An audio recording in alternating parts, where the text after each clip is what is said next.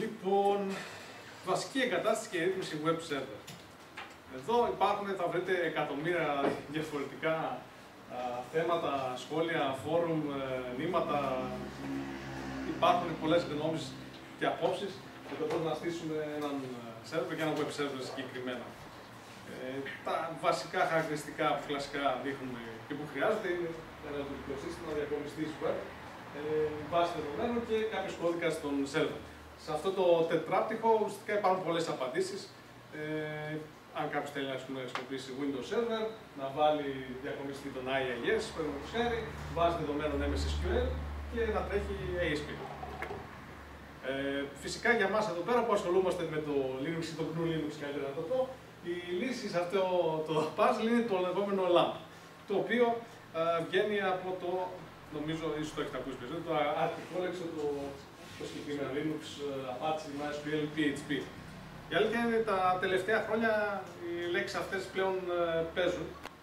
Ε, το LAMP ουσιαστικά, όπως είπα, σήμερα αυτά τα τέσσερα πράγματα, Linux, Apache, MySQL, PHP, πλέον ε, θεωρείται και κάτι, υπάρχουν και άλλα πράγματα που έχουν προσθεθεί. Παραδείγματος χάρη, αντί για τον ε, Apache μπορεί να συναντήσετε το Nginx, παραδείγματος χάρη σαν web server. Ε, αντί για την MySQL πλέον υπάρχει η MariaDB, θα δούμε και στη συνέχεια. Και φυσικά αντί και πρόσθετα με την PHP υπάρχει Bradley, Python, οπότε πάμε σε ένα πιο πλήρες ε, περιβάλλον ε, για διάφορες εφαρμογές και συστήματα εγκαταστημένα πάνω στον server. Ε, Εντάξει, μπορούμε να πούμε πιθανότατα αυτό το γνωρίζετε ήδη ότι το LAMP είναι η πιο γνωστή πλατφόρμα ε, που στηρίζεται ε, web ιστοσελίδες, περιεχόμενο, διάφορα framework, γνωστά site όπως η Wikipedia τρέχουν πάνω σε LAMP, οπότε ε, ένα πολύ μεγάλο ποσοστό του διαδικτύου στηρίζεται πάνω σε αυτό. Και σημαίνει αυτό ότι κάποιος αξίζει να ασχοληθεί. Λοιπόν, τώρα θα πρώτο περνάω λίγο το κομμάτι της θεωρίας, να πούμε σιγά σιγά στην πράξη. Εντάξει, το αγαπημένο μας λειτουργικό σύστημα, το GNU Linux, νομίζω δεν χρειάζεται συστάσεις. Ε, το μόνο που μπορούμε να πούμε έτσι για να ε, αναθαρίσουμε είναι ότι ε, είναι το μεγαλύτερο, έχει τη μεγαλύτερη βάση ε, στα κομμάτια γενικών υπολογιστών, αν μπορώ να το πω έτσι. Και από εκεί και πέρα πλέον και στους υπερυπολογιστές, ε, που έχει φτάσει στο 100%, στους 500 υπερυπολογιστές στον πλανήτη, ε, νομίζω το 2014 ήταν στο 97%, τώρα είναι το 100%.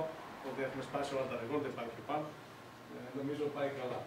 Ε, και αυτό, ε, και με βάση και το Internet of Things τώρα και όλες αυτές τις έξυπνες συσκευές που ένα κομμάτι του τρέχουν Linux, μπορούμε να πούμε εύκολα ότι η παγκόσμια στηρίζεται στο Linux ή το Linux, οπότε ε, είναι κάτι βασικό.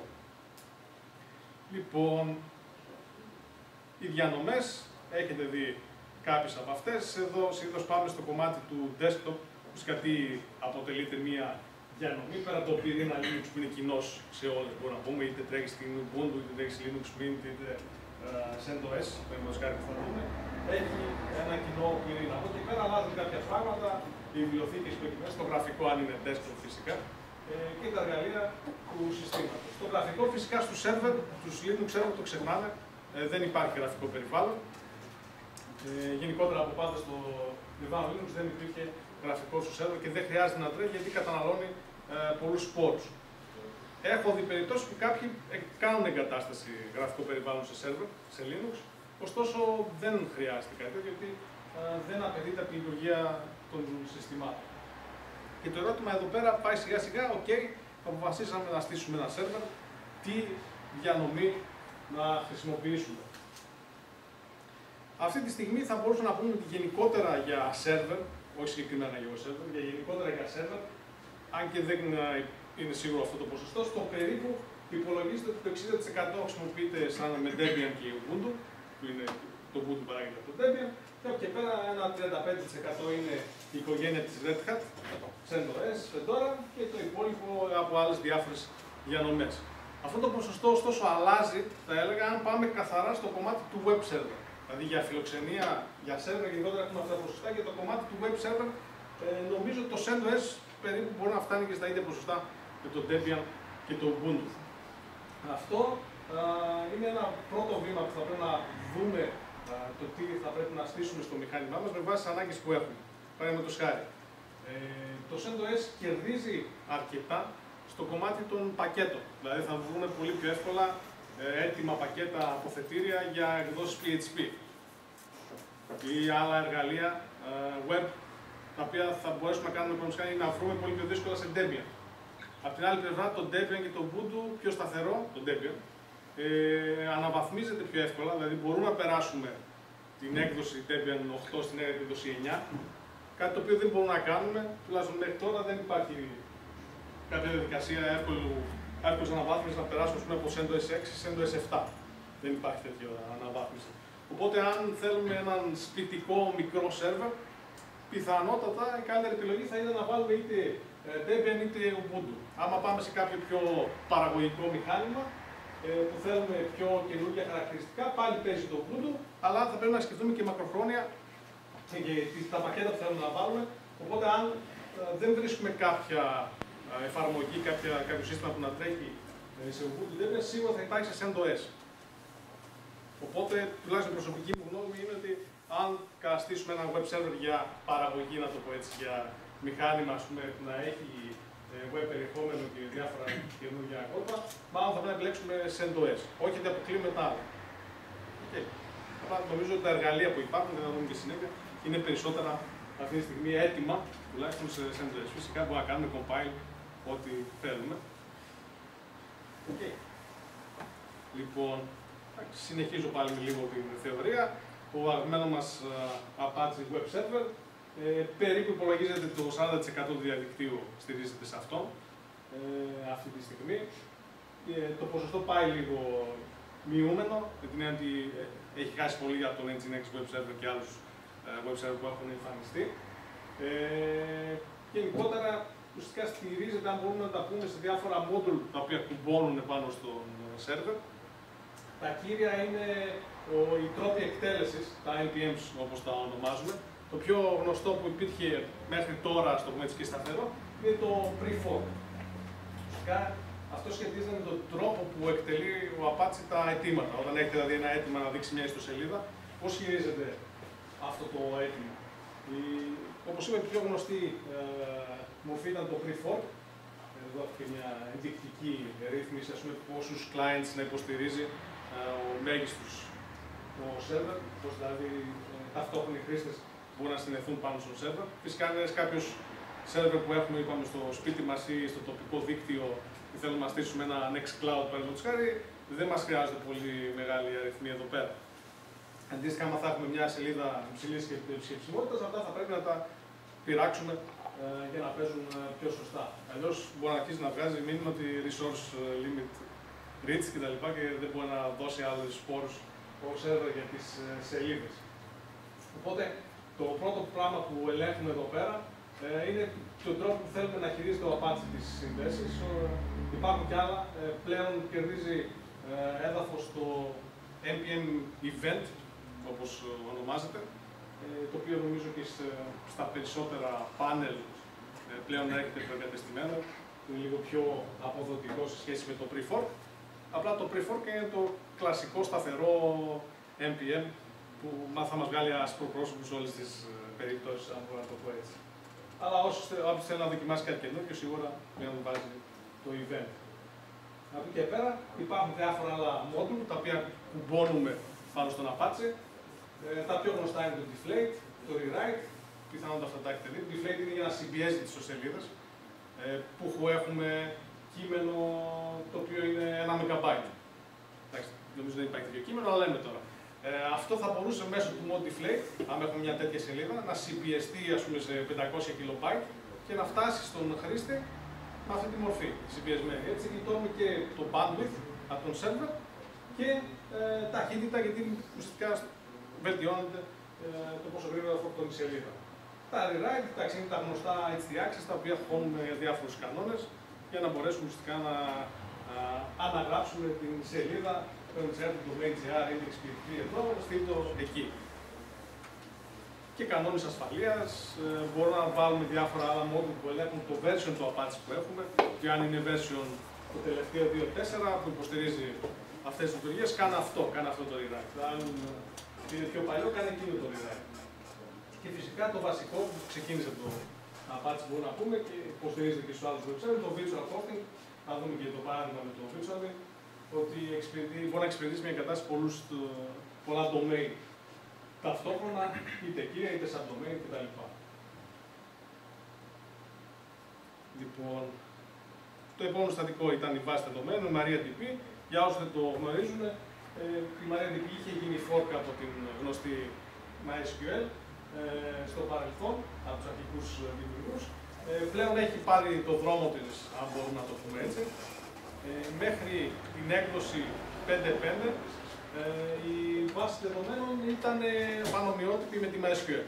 Δηλαδή υπήρχε MariaDB 5.5, MySQL 5.5 και ήταν άμεσος αντικαταστάστης. Δηλαδή μπορούσες να βγάλεις, να ξυλώσεις από το σύστημα τη ε, MySQL, να βάλεις την MariaDB 5.5 και συνεχίζουν τα πάντα να λειτουργούν όπως ε, ήταν και πριν. Ωστόσο, από τις επόμενες εκδόσεις, οι developers της MariaDB άρχισαν να αλλάζουν τα χαρακτηριστικά, οπότε πλέον η MySQL, παραδείγματος χάρη με βάση το versioning που ακολουθεί, είναι στην έκδοση 5.7, η MariaDB έχει φτάσει στην έκδοση 13. Το οποίες είναι περίπου αντίστοιχες. Δηλαδή η MySQL 5.5 είναι ίδια με τη MariaDB 5.5, η MySQL 5.6 είναι περίπου ίδια με τη MariaDB 10.11, η MySQL 5.7 είναι ίδια η αντίστοιχα χαρακτηριστικά με τη MariaDB 12.13 στο περίπου. Απλά πλέον σιγά σιγά οι δρόμοι των δύο project, να το πω έτσι, ε, αρχίζουν και αποκλίνουν. Αλλά μπορούμε να αντικαταστήσουμε τη MySQL με τη MariaDB σε κάποιο σύστημα και πλέον στις περισσότερες διανομέ Linux και στου server έρχεται προκατεστημένη η MariaDB. Δηλαδή αυτή θα εγκαταστήσει όταν πάμε να εγκαταστήσουμε το LAMP μέσα. Οπότε να την προτιμάτε σε σχέση με τη MySQL. Τέλος, η αγαπημένη γλώσσα ε, web προγραμματισμού, θα πει κάποιος κάποιοι θα διαφωνήσουν με αυτό, ε, που τρέχει στον server και όχι στον client, είναι PHP. Ε, εντάξει, θα μπορούσα να το χρειάζεται ξεχωριστό μάθημα για να αναλύσουμε τι, τι κάνει η PHP και τι χρειάζεται. Συνεργάζεται με τα πάντα και χρειάζεται απλά να επεξεργαστεί κειμένο για να την δουλέψεις. Uh, το θέμα με την PHP, αν μπορώ να το πω έτσι, είναι οι πολλές εκδόσεις που πλέον υποστηρίζει. Αυτό είναι κάτι, ένα σημείο που ίσως μπερδέψει ε, μερικούς. Ε, παλαιότερα η ανάπτυξή της ήταν λίγο πιο σταθερή, πιο αργή, αν μπορώ να το πω έτσι. Υπήρχε PHP 5.2, 5.3, τα τελευταία χρόνια ξαφνικά ξαναβγάζουν πολλές εκδόσεις. Βγάλαν 5.5, 5.6, 7, 7.1, οι οποίες κιόλας λήγουν. Δηλαδή έχουν μικρή διάρκεια υποστήριξης. Παραδείγματο χάρη 5.6 τελειώνει τώρα το Δεκέμβριο, όπως και η 7. Στην πραγματικότητα, έξω να το πω έτσι, οι ιστοσελίδες οι περισσότερες δεν έχουν φτάσει ακόμα αυτό το επίπεδο συμβατότητας. Δηλαδή δεν έχουν προλάβει να πάνε στην έκδοση PHP 7 και τα χαρακτηριστικά που διαθέτει αυτή. Οπότε γενικά οι προγραμματιστές του PHP προχωράνε πολύ πιο γρήγορα από την πραγματική κατάσταση των ιστοσελίδων και το CMS, ας πούμε, WordPress, Joomla κτλ. Ε, και αυτό είναι πούμε, μια κλασική εικόνα που βγάζει το documentation της PHP, ότι το τάδε χαρακτηριστικό έχει αφαιρεθεί από την έκδοση 5.4 και πάνω. Οπότε μπορούμε να έχουμε μια σελίδα από ένα WordPress, που είναι κλασικό CMS, να έχουμε πάνω ένα εγκατεστημένο ένα plugin, το οποίο θα παίζει στην 5.6 αλλά δεν θα παίζει στην 7. Οπότε κάνουμε εγκατάσταση του web server, έχει PHP 7 πάνω, δεν παίζει σελίδα μας. Υπάρχει αυτό το θέμα. Θα πρέπει δηλαδή να βλέπουμε και από το κομμάτι της εφαρμογής μας ποια έκδοση PHP ε, χρησιμοποιούμε. Προσωπικά θα έλεγα, εντάξει, ε, επειδή υπάρχει τόσο γρήγορος ρυθμός ανάπτυξης των προγραμματιστών της PHP, να τους αγνοήσουμε λίγο, γιατί δεν μπορούν πραγματικά τα CMS και όλα αυτά να ακολουθήσουν την ταχύτητα των αλλαγών που γίνονται στη PHP. Δηλαδή υπάρχουν σελίδες και από την προσωπική μου γνώση κτλ. που ακόμα τρέχουν PHP 5.2, να φανταστείτε. Και φτάνουμε σε ένα σημείο πλέον οι web server, αν θέλουμε να υποστηρίξουμε όλη αυτή την, όλο αυτό το εύρο εφαρμογών, να έχουν εγκατεστημένες 10 διαφορετικές εκδόσεις PHP. Που είναι κάτι το οποίο αρχίζει και δυσκολεύει τη συντήρηση του server. Δηλαδή για όποιον θέλει να πει στο κομμάτι περισσότερο αυτό. Αν έχουμε μία εφαρμογή, εντάξει δεν μας πειράζει, βάζουμε την PHP που μας ενδιαφέρει. Αν έχουμε πολλές, εκεί το πράγμα αρχίζει και δυσκολεύει. Θα πρέπει να βάλουμε την έκδοση που είναι συμβατή με την εφαρμογή μας.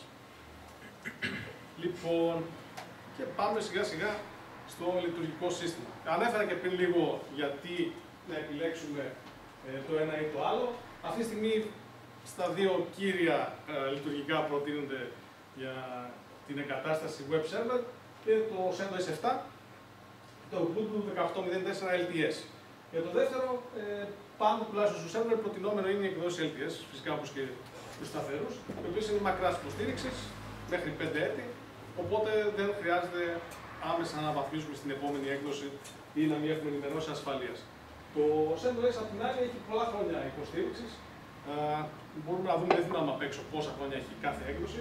Ακόμα δεν έχει βγει η έκδοση CentOS 8, νομίζω έχει ακόμα μέλλον για να βγει.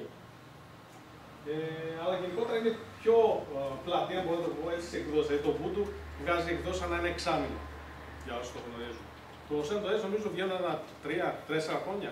Δηλαδή παίρνει αρκετά περισσότερο διάστημα για να βγει μια καινούργια έκδοση CentOS. Ε, από την άλλη, το καλό, όπως είπαμε, το Ubuntu με τις συχνές αναβαθμίσεις αλλαγές έχει πιο καινούργια πακέτα, αλλά δεν προλαβαίνει να έχει σταθερότητα που παρέχει το CentOS. Εδώ πέρα ε, μπορούμε να κάνουμε την εγκατάσταση με δύο τρόπους. Και τα δύο υποστηρίζονται και στο CentOS και στο Ubuntu. Μια απλή εγκατάσταση το Net Install, το οποίο θα δούμε και τώρα, και το άλλο είναι μέσω του DVD. Το DVD κατεβάζουμε, είναι 4 GB, έχει τα πάντα μέσα και τα ξεκινάμε την εγκατάσταση χωρίς να χρειαζόμαστε συνήθως και ίντερνετ. Προτινόμενο πλέον νομίζω παντού υπάρχει. Δεν είναι ειδικά με να στήσουμε ένα σερβερ, χρειαζόμαστε, δεν είναι βασικό. Οπότε πάμε την επιλογή Net Install που είναι λίγα MB και ξεκινάμε την εγκατάσταση.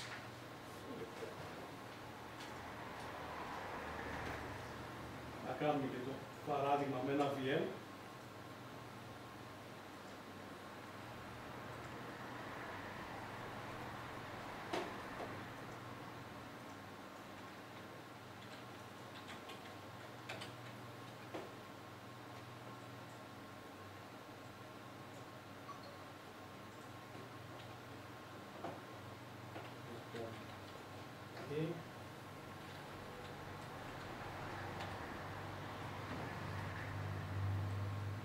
Εδώ, γιατί στη συνέχεια θα μιλήσουμε και για rate και τα λοιπά, θα βάλουμε για αρχή ένα πεντακοσάρι. Στο VM εδώ πέρα το δοκιμαστικό δεν χρειάζεται να βάλουμε πολλά χαρακτηριστικά. Γραφικά, όπως είπαμε, δεν μας ενδιαφέρουν, οπότε δεν χρειάζεται να δώσουμε περισσότερα megabyte στη μνήμη της κάποιας εθνικών. Θεωρούμε ότι είναι ένας απλός server, ένα απλό μηχάνημα. Λοιπόν, εδώ θα κουμπώσουμε το live ISO, το οποίο θα κουμπώναμε σε οποιαδήποτε εγκατάσταση και να κάνουμε. Και πέρα από τον πρώτο 500 δίσκο, θα βάλουμε και ένα δεύτερο 500.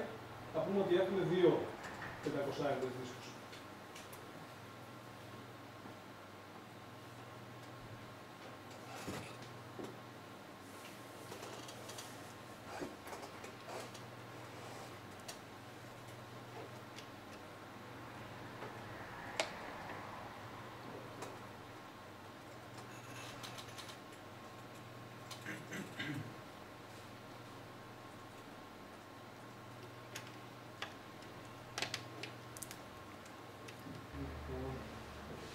Αυτή είναι η πρώτη οθόνη που εμφανίζεται όταν θέλουμε να καταστήσουμε το CentOS 7. Καταρχάς, μας πάει στο τεστ να κάνουμε τεστ. Εμείς πάμε στο install.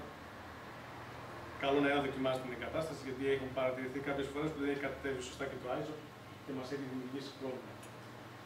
Λοιπόν, ε, Όπως και στο Ubuntu και στο CentOS η εγκατάσταση είναι αρκετά αυτοματοποιημένη, αρκετά εύκολη και με γραφικό περιβάλλον, θα το δείτε τώρα. Δηλαδή είναι πολύ εύκολο να εγκαταστήσουμε το server σε σχέση με στο παρελθόν που ήταν text mode όλα και έκανες χίλια πράγματα για να το εγκαταστήσει. Να του δώσουμε λίγο να φορτώσει. Λοιπόν, πρώτη οθόνη φυσικά μας βγάζει τη γλώσσα που θέλουμε να επιλέξουμε.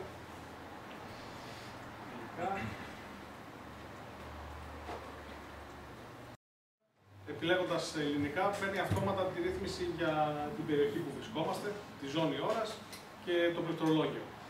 Στη συνέχεια, θα δείτε σε λίγο μόλις φορτώσει, μπορούμε να επιλέξουμε και να εγκαταστήσουμε και άλλες γλώσσες στο σερβερ μας, αν χρειάζεται. Πέρα από τα ελληνικά, μπορούμε να θέλουμε να εγκαταστήσουμε και αγγλικά, γερμανικά, οτιδήποτε ε, άλλο. Ε, στη συνέχεια, βάζουμε, προχωράμε στο, στη ρύθμιση του δικτύου, το οποίο δεν είναι βασικό. Για γενικότερα, σε ένα σερβερ θα πρέπει να ορίζουμε πάντα α, στατική IP. Θα πρέπει δηλαδή να του δώσουμε μια στατική IP και όχι DHCP, γιατί θα, γίνεται, θα το χάνουμε κάθε φορά που ανοίγει, θα παίρνει διαφορετική ε, IP. Ε, Όπως είπα, πήρε κατευθείαν εδώ πέρα την ημερομηνία ώρα, το πληκτρολόγιο, τα layout που θέλουμε. Φυσικά ε, μπορούμε αν θέλουμε να επιλέξουμε κάτι διαφορετικό. Με βάλει κατευθείαν ελληνικά αγγλικά. Okay.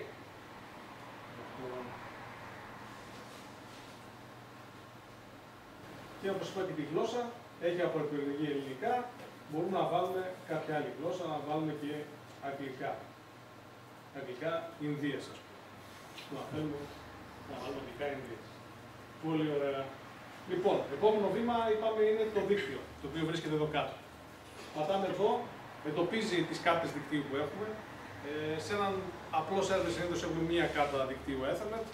Ε, σε άλλους σερβερ μπορούμε να συναντήσουμε και δύο, και τρεις, και τέσσερις κτλ. Υπάρχουν τεχνικές για να μπορέσουμε να συνενώσουμε τις κάρτες δικτύου σαν να λειτουργούν σαν μία, το λεγόμενο bond. Ε, με αυτόν τον τρόπο ουσιαστικά μπορούμε να έχουμε ας πούμε, 4 εκατοστάρες του 100 Ethernet να λειτουργούν παράλληλα. Αυξάνοντας το ε, throughput που έχουμε στο δίκτυο, τα ταχύτητα πάλι είναι 100, το συνολικό όμως μπορεί να φτάσει ε, μέχρι 400 παραδείγματος χάρη σε ιδανικές ε, συνθήκες. Οπότε ε, είναι να έχουμε load balancing, για να δουλεύει μία, μία κατά δικτύου, μία η άλλη και να έχουμε καλύτερη απόδοση στο δίκτυό μα. Λοιπόν, εδώ πέρα πήρε ε, την τοπική IP γιατί είναι VirtualBox, ωραία. Σκαφή πρέπει να την ενεργοποιήσουμε να βρει το ίντερνετ και εφόσον έχει συνδεθεί, μας βγάζει ότι το wire, το καλώδιο συνδέθηκε. Το επόμενο βήμα είναι να επιλέξουμε από πού θα εγκαταστήσουμε τα πακέτα. Επειδή διαλέξαμε την NetInstall έκδοση, θα πρέπει να του βάλουμε ένα mirror όπως ονομάζεται, μια πηγή, για να μπορέσει να κατεβάσει online τα πακέτα.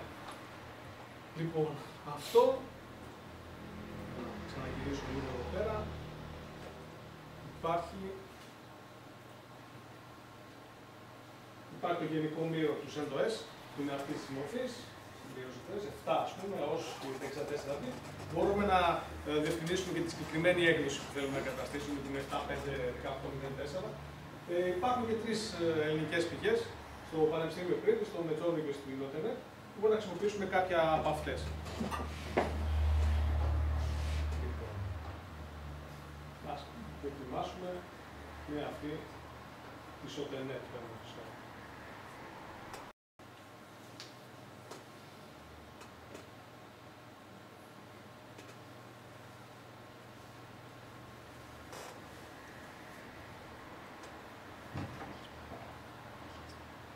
Εφόσον το γράψαμε σωστά,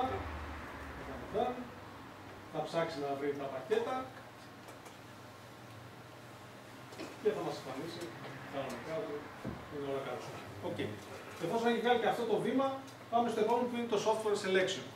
Τώρα, σε μια απλή εγκατάσταση έχει την επιλογή εδώ πέρα minimal install. Να το κρύβει λίγο, να το φέρω λίγο πιο δίπλα. Έτσι, μα χαλάει λίγο το πλαϊνό. Βλέπετε έχει την επιλογή minimal install. Εξ αρχής βάζει τα τελείως απαραίτητα για να δουλέψει ο server. Στα πλάγια μας βγάζει και πρόσθετε επιλογές. Μπορούμε, αν θέλουμε, να βάλουμε υποστήριξη για εργαλεία ανάπτυξης λογισμικού με βάση την ε, βασική εγκατάσταση. Από εκεί πέρα έχει και πρόσθετες επιλογές, δηλαδή μπορούμε κατευθείαν να επιλέξουμε κάποιον basic web server. Σε αυτή την περίπτωση, πέρα από τη βασική εγκατάσταση, θα βάλει και άλλα διάφορα εργαλεία. Μπορεί να βάλει κατευθείαν τη MariaDB, μπορεί να βάλει κατευθείαν την PHP. Ή ακόμα μπορούμε να επιλέξουμε και desktop εγκατάσταση, την OM και η κτλ. Οπότε κατευθείαν από το εγκαταστάτη έχουμε αυτές τις επιλογές. Στην περίπτωση που θα βάλουμε κάποιο πάνελ, όπως στην δική μας περίπτωση που θα βάλουμε το virtual ε, δεν επιλέγουμε να εγκαταστήσουμε κάτι τέτοιο. Επιλέγουμε την απλή minimal εγκατάσταση να είναι κενός ο server. Να το πω έτσι, γιατί όλα αυτά θα βγουν από το πάνελ που θα κάνουμε εγκατάσταση. Αν θέλουμε χειροκίνητα, φυσικά βάζουμε το LAN μέσα από εδώ πέρα. Λοιπόν, και τώρα πάμε στο πρώτο καλό κομμάτι, να το πω έτσι, που είναι η δίσκη. Έχουμε βάλει, όπως είδαμε, δύο 500 και θα πρέπει να δούμε πώς θα πρέπει να τους κόψουμε να κάνουμε τη λεγόμενη κατάπληξη. Εδώ θα ξαναγυρίσω λίγο στην θεωρία για να δούμε σιγά σιγά τι είναι όλα αυτά τα πράγματα με τα GPT, MRV κτλ. Καταρχάς, το κλασικό, κλασικός τρόπος ε, δημιουργίας κατάπληξης των δίσκων ήταν το λεγόμενο MRP, το MS-DOS, το οποίο νομίζω ξεκίνησε την δεκαετία του 80, κάπου τότε βγήκε σαν, ε, σαν στοιχείο. Ε, γενικότερα είναι παλιό, είναι σταθερό από την άλλη, συμβατό με όλα τα λειτουργικά συστήματα και όλους τους σερβερ. Αυτό που κάνει είναι ουσιαστικά να πάει και να γράφει έναν ειδικό boot sector, όπως ονομάζεται, στην αρχή του δίσκου και εκεί έχει τις πληροφορίες για τα partition. Αυτό ωστόσο μπορεί να δημιουργήσει πολλά θέματα του τύπου άμα χαθεί το MRB, άμα βάλουμε δεύτερο λειτουργικό, καμιά φορά όσο το έχετε δοκιμάσει, βάζετε Windows, Linux κτλ. Και, και πάνω πούμε, τα Windows και γράφουν το MRB και κάνετε το group από τα Linux. Μπορεί να έχουμε τέτοια θέματα. Γιατί ουσιαστικά είναι ένα ειδικό sector στην αρχή του δίσκου. Αν αυτό χαθεί, χάνουμε τα partition, δεν ξέρει ο δίσκος που πάνε τα τέσσερα. Δεν έχει κάποιο έλεγχο για να βλέπει τα δεδομένα και τα partition αν έχουν αναλυτωθεί. Άλλο πρόβλημα που έχει, τουλάχιστον τα χαρακτηριστικά όταν το πω έτσι, είναι ότι υποστηρίζει τέσσερα κύρια partition, κλασικό πρόβλημα γι' αυτό. Ότι προσπαθούμε να φτιάξουμε partition, φτάνουμε στα τέσσερα, μας λέει τέλος. Δεν μπορείς να φτιάξεις άλλα. Μέχρι τέσσερα. Εκεί είναι, βάζουμε τις λεγόμενες λύσεις με τα extended partition. Αν έχετε κάνει έτσι ποτέ με δίσκους. Ε, αλλά μπορούμε να βάλουμε μέχρι 4 κύρια. Δεν μπορούμε να χρησιμοποιήσουμε άλλα partition. Οπότε, αν για κάποιο λόγο σε ένα δίσκο έχουμε φτάσει στα 4, μετά την πατήσαμε. Δεν μπορούμε να κάνουμε σχεδόν τίποτα άλλο, εκτός και αν αρχίζουμε να πειράζουμε το μέγεθος του κάθε partition. Και από εκεί πέρα υποστηρίζονται δίσκοι μέχρι 2 TB. Πιο πάνω δεν μπορεί να υποστηρίξει. Οπότε, αν έχουμε κάποιο δίσκο καινούριο 8 TB, εκεί θα έχουμε α, θέμα. Partition βασικά. Τη λύση, να το πω έτσι, αρχίζει να δίνει το GPT, που είναι καινούριο, η καινούργια λειτουργία, ε, το οποίο έχει αναβαθμισμένα χαρακτηριστικά. Το συγκεκριμένο όμως στηρίζεται στο UEFI. Θα πρέπει να έχουμε δηλαδή σερβερ υπολογιστή που να έχει μέσα UEFI, όχι BIOS το παλιό. Αν έχει BIOS, δεν θα υποστηρίζει πιθανότατα το GPT. Εντάξει, οι περισσότεροι καινούργιοι υπολογιστές, νομίζω, τελευταία τετραετία, τριετία και μετά, πλέον έρχονται, παλαιότερα, αν δεν κάνω λάθος, έρχονται με UEFI Οπότε δεν έχουμε θέμα για την υποστήριξη GPT συσκευών και σταδιακά για τα επόμενα χρόνια. Επίσης, το θετικό που έχει είναι ότι κρατάει αντίγραφα αυτών των πληροφοριών των παρτίζων σε διάφορα σημεία του δίσκου και στην αρχή και στο τέλος. Οπότε και να χαθεί το αρχικό κομμάτι δεν μας πειράζει, έχουμε για backup το δεύτερο. Δεν χάνουμε τα partition. Υποστηρίζει έλεγχο των δεδομένων με check CRC. Ουσιαστικά βλέπει ότι τα δεδομένα που έχει στην αρχή και στο τέλος δεν είναι αλλοιωμένα μπορεί να υπάρξει κάποια αλλιώ, κάποιο bad sector, κάτι να μας χαλάσει το, το boot sector. Οπότε σε εκείνη την περίπτωση με το MRB θα νομίζω ότι υπάρχει, αλλά θα έχει ό,τι να είναι σαν δεδομένα. Το GPT με αυτόν τον έλεγχο μπορεί να επιβεβαιώσει ότι όντως τα δεδομένα που έχει για τα partition είναι σωστά. Από εκεί πέρα υπάρχουν απεριόριστα partition, σχεδόν, 128 και πάνω, ανάλογα το λειτουργικό και το δίσκο, και μπορεί να υποστηρίξει πολύ μεγάλους δίσκους, τύπου 8 ZB δεν ξέρω καν τι είναι αυτό, πόσο μεγάλο είναι, αλλά είναι πολύ μεγάλο. Τέλος πάντων, δεν έχει περιορισμό στο τι δίσκο να υποστηρίξει. Και μια εικόνα που περίπου δείχνει, είναι στην αρχή το MRB, μετά το GPT header, εδώ είναι τα διάφορα partition που μπορούμε να βάλουμε και ένα ίδιος, ένα ίδιο δίγραφο υπάρχει και στο τέλος. Okay, αυτή είναι περίπου η δομή που ακολουθεί το GPT. Για προστασία επίσης, οι δίσκοι που χρησιμοποιούν GPT πάνε και βάζουν και ένα protective MRB, όπως το λέει. Ουσιαστικά κάνουν ότι έχουν MRB, ώστε παλαιότερα λειτουργικά κτλ. που δεν υποστηρίζουν σωστά το GPT να μπορούν να βρουν ότι αυτός ο δίσκος έχει GPT, γιατί να μην ψάχνουν δηλαδή αδίκως το MRB και δεν μπορούν να ξεκινήσουν. Ε, από την άλλη, έχουμε κάποια θεματάκια με το GPT, ότι κλασικά εργαλεία, μπορώ να το πω έτσι, όπως το Gparty, η μέσω κονσόλας, το WebDisk κτλ. δεν υποστηρίζουν η χρήση GPT. Οπότε, άμα ανοίξουμε ε, το Gpad, ένα δίσκο που είναι με GPT, συνήθως βγάζει ένα τέτοιο πράγμα που είναι ένα allocated το δίσκο. Αυτό είναι επειδή ουσιαστικά υπάρχει αυτό το protective MRB, το οποίο ουσιαστικά του λέει ότι υπάρχει κάτι εδώ μέσα σε όλο το δίσκο και πρόσεχε, ας πούμε, μην το ε, διαγράψει, μην το αλλάξεις. Γενικότερα αυτά τα εργαλεία δεν υποστηρίζουν το GPT. Υπάρχουν όμως πλέον νέα εργαλεία όπως παραδείγματος χάρη το GDisk, που είναι ουσιαστικά αντίστοιχο του FDisk, το οποίο κάνει περίπου την ίδια δουλειά. Πρωτού περάσω αυτό, να πω για όσοι έχουν ασχοληθεί με Linux και έχουν δει FSTab κτλ. το κομμάτι που ορίζουμε τους ε, δίσκους, έχει μέσα κάποια τέτοια κομματάκια, που είναι τα λεγόμενα πώς ορίζουμε τα partition, τα UI, με, τους μοναδικούς, με τα μοναδικά ID τους. Αυτά είναι διαφορετικά από τα ID του GPT. Δεν είναι το ίδιο πράγμα.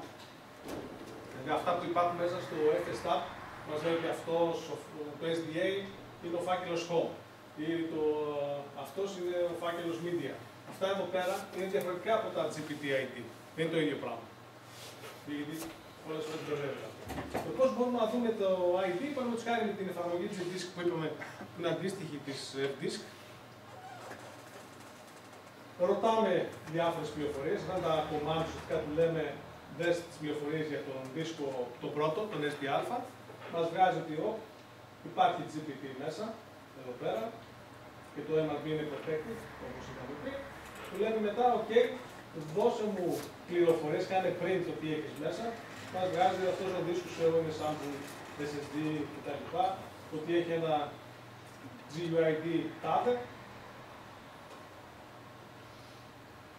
Και από εκεί πέρα μπορούμε να δούμε και συγκεκριμένες πληροφορίες, δηλαδή δώσουμε πληροφορία για το partition 3 πούμε, που έχουμε εκεί και μας βγάζει αναλυτικά εδώ πέρα τα G UID. Εντάξει, αυτά είναι λίγο πιο συγκεκριμένες, πιο συγκεκριμένες εντολές. Απλά να σας δείχνω πώς μπορούμε ουσιαστικά να χρησιμοποιήσουμε αυτή την καινούργια μορφή. Τα κλασικά εργαλεία όπως το FDisk δεν μπορούν να το διαβάσουν, οπότε εκεί έχουμε ένα θεματάκι. Λοιπόν, εντάξει, τη λύσαμε αυτή τη διαφορά, τι είναι ε, MRB, MS-DOS κλασικό και το GPT. Γενικότερα όλες οι νέες διανομές και τα Windows 10 όπως ξέρω πλέον από default κάνουν εγκατάσταση σε GPT μορφή. Λοιπόν, πάμε στο επόμενο κομμάτι που είναι το LVM και το ε, RAID. Λοιπόν, τι είναι αυτά, γιατί τα χρησιμοποιούμε. Φυσικά έχουμε, πάνω στο μηχάνημα που θα στήσουμε τώρα, έχουμε δύο δίσκους 500 Με το LVM μπορούμε να κάνουμε δυναμικά partitions. Τι σημαίνει αυτό, ότι στην κλασική μορφή έχουμε ένα 500 και ένα 500. Θα κάνουμε ένα partition με 500 εδώ, ένα partition 500 εκεί. Ή οτιδήποτε θέλουμε, αλλά μέσα στους ίδιους τους δίσκους. Δεν μπορούμε να επεκταθούμε πέρα από τα όρια των δίσκων. Δεν μπορούμε να κάνουμε 4 partition 250. Okay.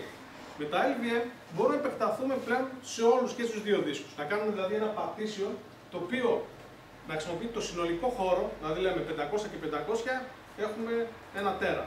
Και να κάνουμε ένα partition των 600 γίγα και ένα άλλο partition των 400 γίγα. Με δύο δίσκους. Ουσιαστικά είναι δυναμικό partition που ξεπερνάει τα όρια του φυσικού δίσκου. Okay. Αυτό είναι το πρώτο σημείο. Το άλλο που μας βοηθάνε τα LVM είναι ότι διαμοιράζουν τα λεγόμενα I.O. Δηλαδή, μπορούμε να έχουμε ένα αρχείο στον ένα δίσκο και στον άλλο και με αυτόν τον τρόπο η ανάγνωση που κάνει ο σερβερ υπολογιστής θα είναι πιο γρήγορη.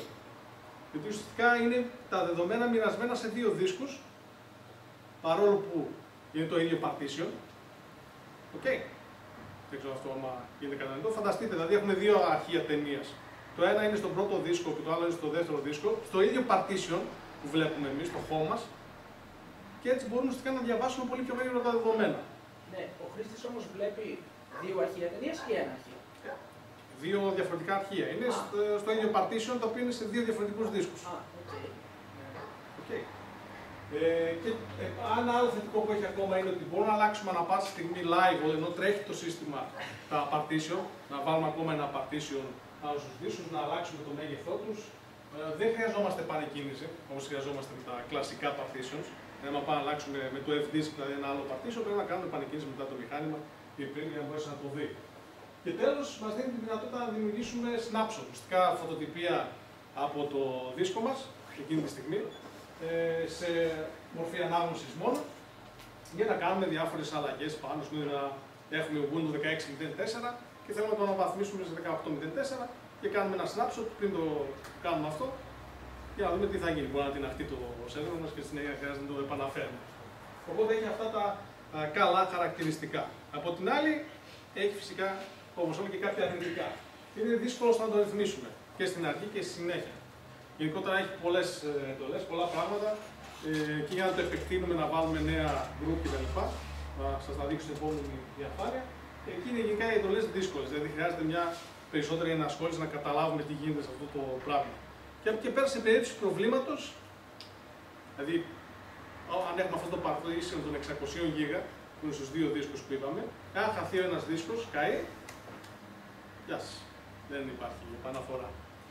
Εκεί απαντάει το RAID που είναι το επόμενο. Λοιπόν, τα LVM πώς ε, δουλεύουν. έχουν τρία ε, επίπεδα, αν μπορώ να το πω έτσι, τρεις, ε, τρία στοιχεία.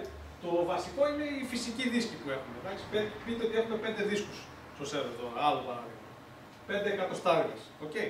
Αυτό το επίπεδο το ονομάζει το LVM PV, Physical Volumes. Πάνω από αυτό δημιουργεί το Volume Group. Ουσιαστικά λέμε ότι όλη αυτή η δίσκη είναι ένα ενιαίο πράγμα, ένα, μια ενιαία χωρητικότητα. 500 γίγα, αν πούμε ότι είναι από 100, όλα αυτά είναι ένα 500 γίγα πράγμα. Okay, αυτό ονομάζεται volume group. Και πάνω από αυτό, ουσιαστικά, δημιουργούμε, αν μπορούμε να το πούμε, με μια μορφή τα κλασικά partition, αυτά που βλέπει δηλαδή ο τελικός χρήστης, που είναι τα logical volumes. Ουσιαστικά πάνω από εδώ, του λέμε ότι εδώ, αυτά τα 150 γίγα είναι το backup μας. Αυτά τα 150 γίγα είναι το data 1, το data 2 κτλ. Οπότε έχει αυτά τα τρία επίπεδα του LVM, ε, τα οποία ουσιαστικά στηρίζονται. Αντίστοιχα, καταλαβαίνετε ότι όπως αν χαθεί ένας δίσκος, όλο το οικοδόμημα καταραίει.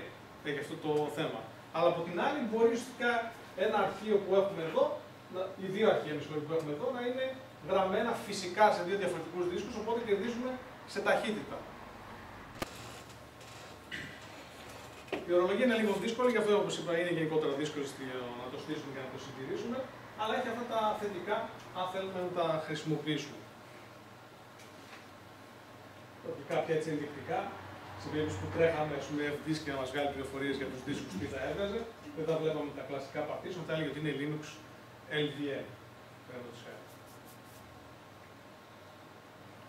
Λοιπόν, και εδώ είναι παραδείγματος χάρη ένας τρόπος μέσω γραμμής εντολώ πώς δημιουργούμε αυτά τα κομμάτια. Στην αρχή που λέμε φτιάξε, στο παράδειγμα τους τρεις δίσκους, ας πούμε, φτιάξε αυτά τα τρία physical κομμάτια. Οκ. Το create. Μετά αυτά τα τρία κομμάτια βάλτα σε ένα volume group ούλα. Και μετά από αυτό το ούλα group, που θα είναι ας πούμε, αν πούμε ότι αυτοί οι δίσκοι είναι 100 γίγα, 300 γίγα, δώσε 10 γίγα στο Sula, στο Sula volume. Είναι λίγο περίπλοκο είναι η αλήθεια, αλλά κατα- είναι η δομή αυτή που ήταν και στην προηγούμενη διαφάνεια, ουσιαστικά αυτά τα, τα επίπεδα τα τρία.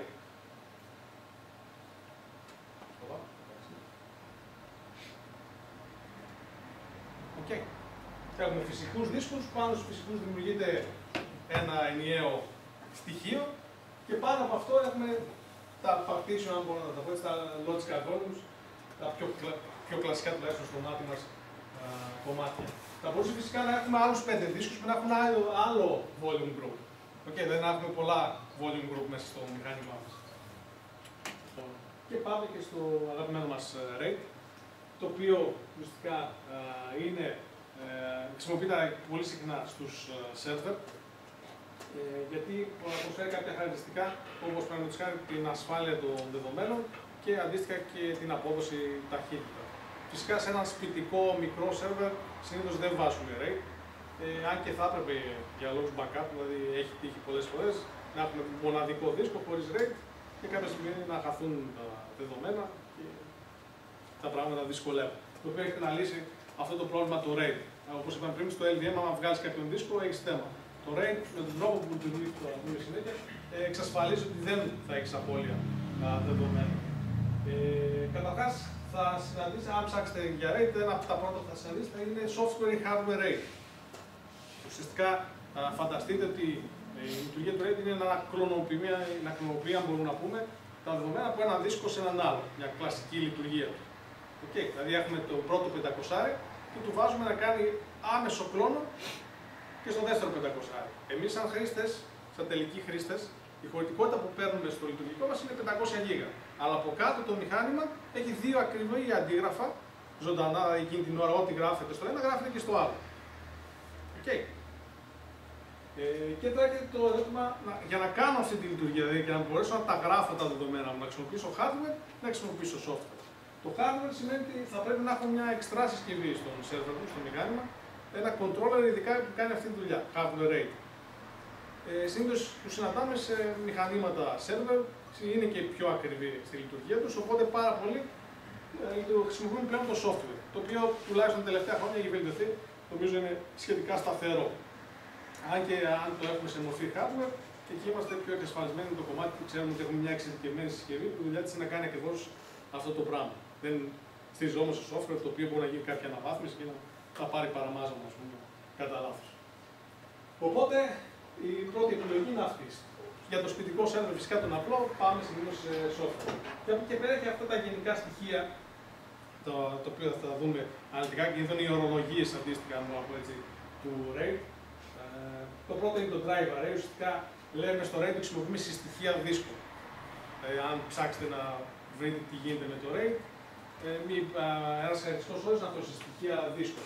Που σημαίνει ότι έχουμε δύο δίσκους, τρεις, τέσσερις, ανάλογα τι επίπεδο RAID έχουμε, ε, με ίδια μορφή αρχείων. Δηλαδή, αν χρησιμοποιούμε NTFS, στον ένα NTFS θα έχουν και τα άλλα. Αν χρησιμοποιούμε X4 στο ένα, X4 και στο άλλο. Δηλαδή πρέπει να είναι ίδια, ίδιο format. Και από εκεί πέρα οι περισσότερες υλοποιήσεις RAID θέλουν να είναι ίδιο στο δίσκος. Δηλαδή δεν μπορούμε να έχουμε ένα δίσκο 400 GB και ο άλλος να είναι 600 GB. Θα πρέπει να είναι οι ίδιοι ή οι ίδιοι και μεγαλύτεροι. Okay, αυτό είναι βασικό για το RAID. Το επόμενο είναι η φυσική δίσκη. Φυσικά και εδώ είπαμε ότι είναι βασικό χαρακτηριστικό και εξαρτάται αυτό από το τι RAID θα χρησιμοποιήσουμε. Θα δούμε στη συνέχεια αναλυτικά πόσους δίσκους χρειαζόμαστε ένα επίπεδο RAID.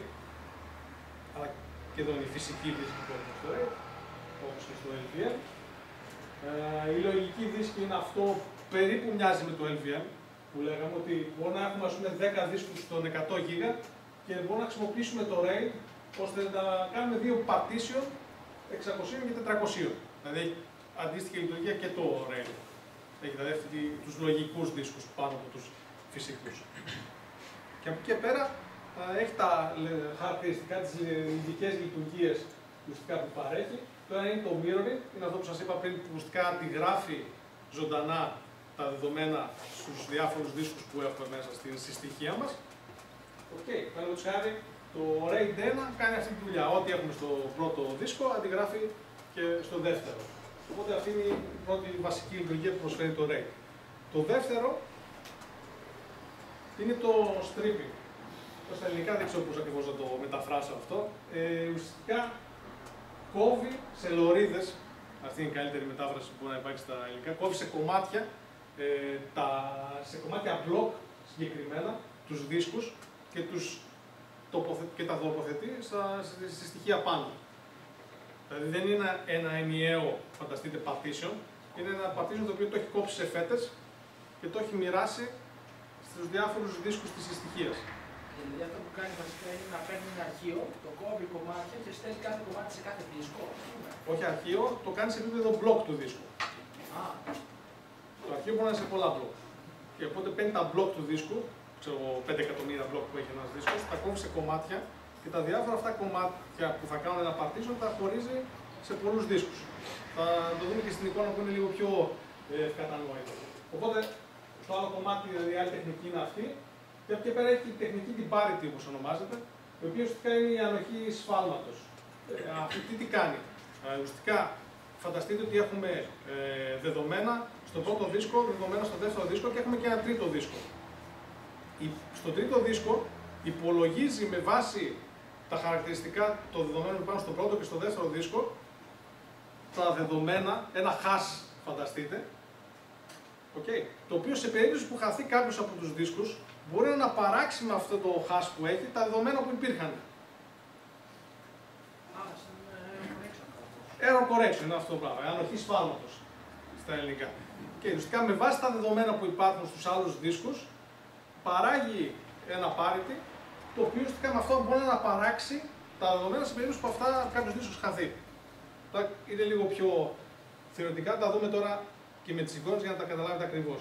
Το βασικό rate που έχουμε, που είναι το rate 0, εδώ πέρα, αυτό χρησιμοποιεί την τεχνολογία streaming, είναι αυτή που λέμε το κόβει σε λωρίδε, αλλά δεν έχει τα άλλα δύο, το mirroring και το parity. Ουσιαστικά φανταστείτε αυτοί οι δύο δίσκοι μας που είπαμε, οι δύο 500 άκρες, και οι οποίοι είναι ένα κοινό partition. Δηλαδή έχουμε 500 και 500, ο χρήστη βλέπει ε, ένα τέρα εδώ πέρα. Αλλά αυτό το ένα τέρα είναι κομμένο σε διάφορες λωρίδες πάνω στο δίσκο. Και με βάση αυτό το τρόπο που λειτουργεί, έχουμε καλύτερη απόδοση εγγραφής ανάγνωσης. Γιατί όπως είπαμε και στο LVM αντίστοιχα, μπορεί ουσιαστικά να έχουμε ένα αρχείο ή ένα κομμάτι του αρχείου εδώ και το άλλο να είναι εδώ. Οπότε από πάνω θα διαβάζει ταυτόχρονα και στους δύο δίσκους. Και έτσι κερδίζουμε απόδοση στο RAID Απλά αυτό αντίστοιχα θέλει δύο δίσκους και παραπάνω. Αν χαθεί ένας δίσκος, αντίστοιχα δεν έχουμε το ανοχή, ας το πούμε, σφαλμάτων. Χάθηκε όλο το σύστημα. Αυτό το χρησιμοποιούμε συνήθως όταν θέλουμε να χρησιμοποιήσουμε όλη τη χωρητικότητα των δίσκων και να έχουμε κάποια βελτίωση απόδοσης. Δηλαδή, αντί να κάνουμε δύο 500 δίσκους, κάνουμε ένα δίσκο λογικό του ενός τέρα, το οποίο έχει βελτιωμένη απόδοση εγγραφή και ανάγνωση. Αυτό είναι το, το βασικό, το rate 0. Μετά πάμε στο rate 1. Αυτό κάνει το mirroring που ανέφερα πιο πριν. Ουσιαστικά πάλι κόβει τα κομμάτια. Απλά ό,τι πάει στον ένα δίσκο θα την γράφει στον άλλο. Οπότε σε αυτή την περίπτωση, αν έχουμε δύο 500 πάνω πάλι θα έχουμε 500, αλλά αυτά τα 500 αντιγράφονται ταυτόχρονα και στους δύο δίσκους. Εδώ κερδίζουμε ασφάλεια, αλλά έχουμε χαμηλότερη απόδοση δηλαδή σε σχέση με αυτά που θα μπορούσαμε να πάρουμε από τους δύο δίσκους. Με τον προηγούμενο τρόπο θα μπορούσαμε να αποθηκεύουμε δεδομένα ενός τέρα, ενώ τώρα θα αποθηκεύουμε δεδομένα. Ναι, εδώ είμαστε στα 500 γίγα. Γιατί ουσιαστικά είναι ακριβές αντίγραφο. Ναι, ναι. Α1, Α1. Αν είδατε πριν, το έχω. Εδώ πάει Α1, Α2, οπότε χρησιμοποιεί και τους δύο δίσκους σαν ένα. Και φτάνουμε το 1 τέρα. Ενώ εδώ έχουμε δύο 500 που είναι ο ένας κλόνος του άλλου. Οπότε αναγκαστικά έχουμε τη μισή χωρητικότητα. Αυτό το χρησιμοποιούμε συνήθω για ασφάλεια. Πολλοί NAS server που να έχουμε επίσης το υποστηρίζουν.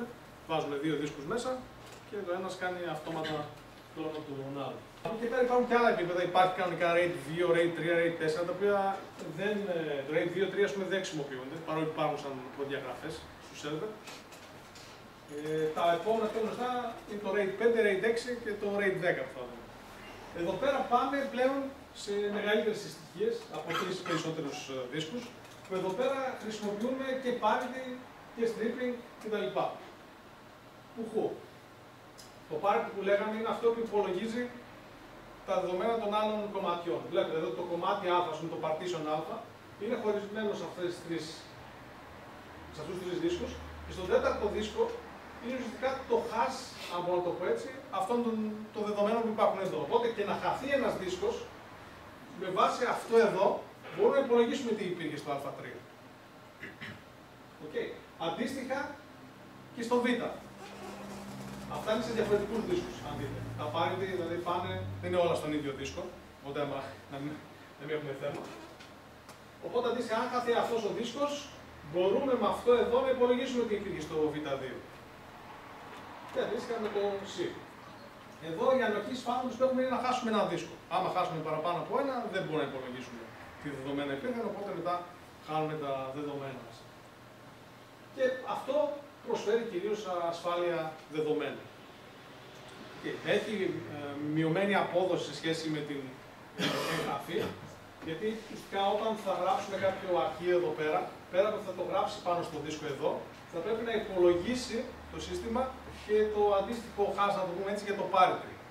Οπότε θα πρέπει να γράψει και εδώ και εδώ, οπότε πέφτει η απόδοση που έχουμε στους ε, δίσκους. Δηλαδή θα πάρουμε λιγότερη απόδοση από ό,τι μπορεί να μας δώσει ο δίσκο, αλλά κερδίζουμε σε ασφάλεια. Αντίστοιχα και το RAID 6, αυτό κάνει το ίδιο πράγμα, έχει διπλό parity πλέον. Δηλαδή έχει δύο δίσκους που υπολογίζουν parity. Οπότε, σε αυτή την περίπτωση, εγώ μάλλον θέλουμε τέσσερις περισσότερους, μπορούμε να χάσουμε δύο δίσκους στο RAID 6. Γιατί ακόμα και να χαθεί αυτός, υπάρχει ακόμα έτοιμο το parity εδώ. Άμα χαθεί και αυτό, έχουμε τα δεδομένα αντίστοιχα. Άμα χαθεί αυτός ο δίσκος, έχουμε β1 β3 και έχουμε τα πάλι τα δύο για να υπολογίσουμε. Άμα χαθεί και αυτός πάλι έχουμε. Okay. Οπότε εδώ έχουμε ακόμα περισσότερη ασφάλεια δεδομένων με το διπλό πάρτι που υπάρχει. Αντίστοιχα όμως χάνουμε ακόμα περισσότερο σε απόδοση, ειδικά εγγραφής, γιατί το σύστημα πρέπει να υπολογίσει και να γράφει σε αυτό το κομμάτι, αλλά και σε αυτά τα δύο κομμάτια το, το πάρτι. Άμα χαθούν τα δύο δεξιά, δεν έχουμε πάρει συνεχίζει, παίζει κανονικά. Ναι, γιατί ουσιαστικά τα δεδομένα μας είναι άθικτα. Δεν έχουμε κάτι θέμα. Όταν θέλουμε να αντικαταστήσουμε τους δύο δίσκους, το πάρτι θα απολογιστεί σιγά σιγά ξανά την αρχή ή να... Ε, δηλαδή να βγάλουμε αυτούς τους δύο δίσκους να βάλουμε δύο καινούριους; Ναι, γιατί χαλάσανε δύο δίσκους. Ναι, θα πρέπει, θα, υπάρχει μια διαδικασία που κάνει rebuild το array ανά κάποιο χρονικό διάστημα. Αυτό ισχύει σε, όλες τις, σε όλα τα επίπεδα array. Κάνει ουσιαστικά rebuild ανά κάποιο χρονικό διάστημα, μία φορά το μήνα παίρνει το σχάρι και βλέπει ότι τα δεδομένα είναι σωστά. Ή σε περίπτωση που χαλάσουν οι δίσκους και βάλουν κάποιον άλλον, τρέχει rebuild. Και ξαναχτίζει ουσιαστικά το, το πάρτι από την αρχή. Και από εκεί και πέρα, το τελευταίο κομμάτι τουλάχιστον για το RAID είναι τα λεγόμενα nested RAID. Και μπορούμε να έχουμε το ένα RAID μέσα στο άλλο, όπως το RAID 10 ή ένα συν 0 μπορεί να το πετύχετε, το οποίο ουσιαστικά έχει στο πάνω κομμάτι, αν μπορούμε να πούμε, αυτό θεωρεί ένα κομμάτι που εδώ έχει RAID 0 και στο κάτω κομμάτι έχει RAID 1. Okay.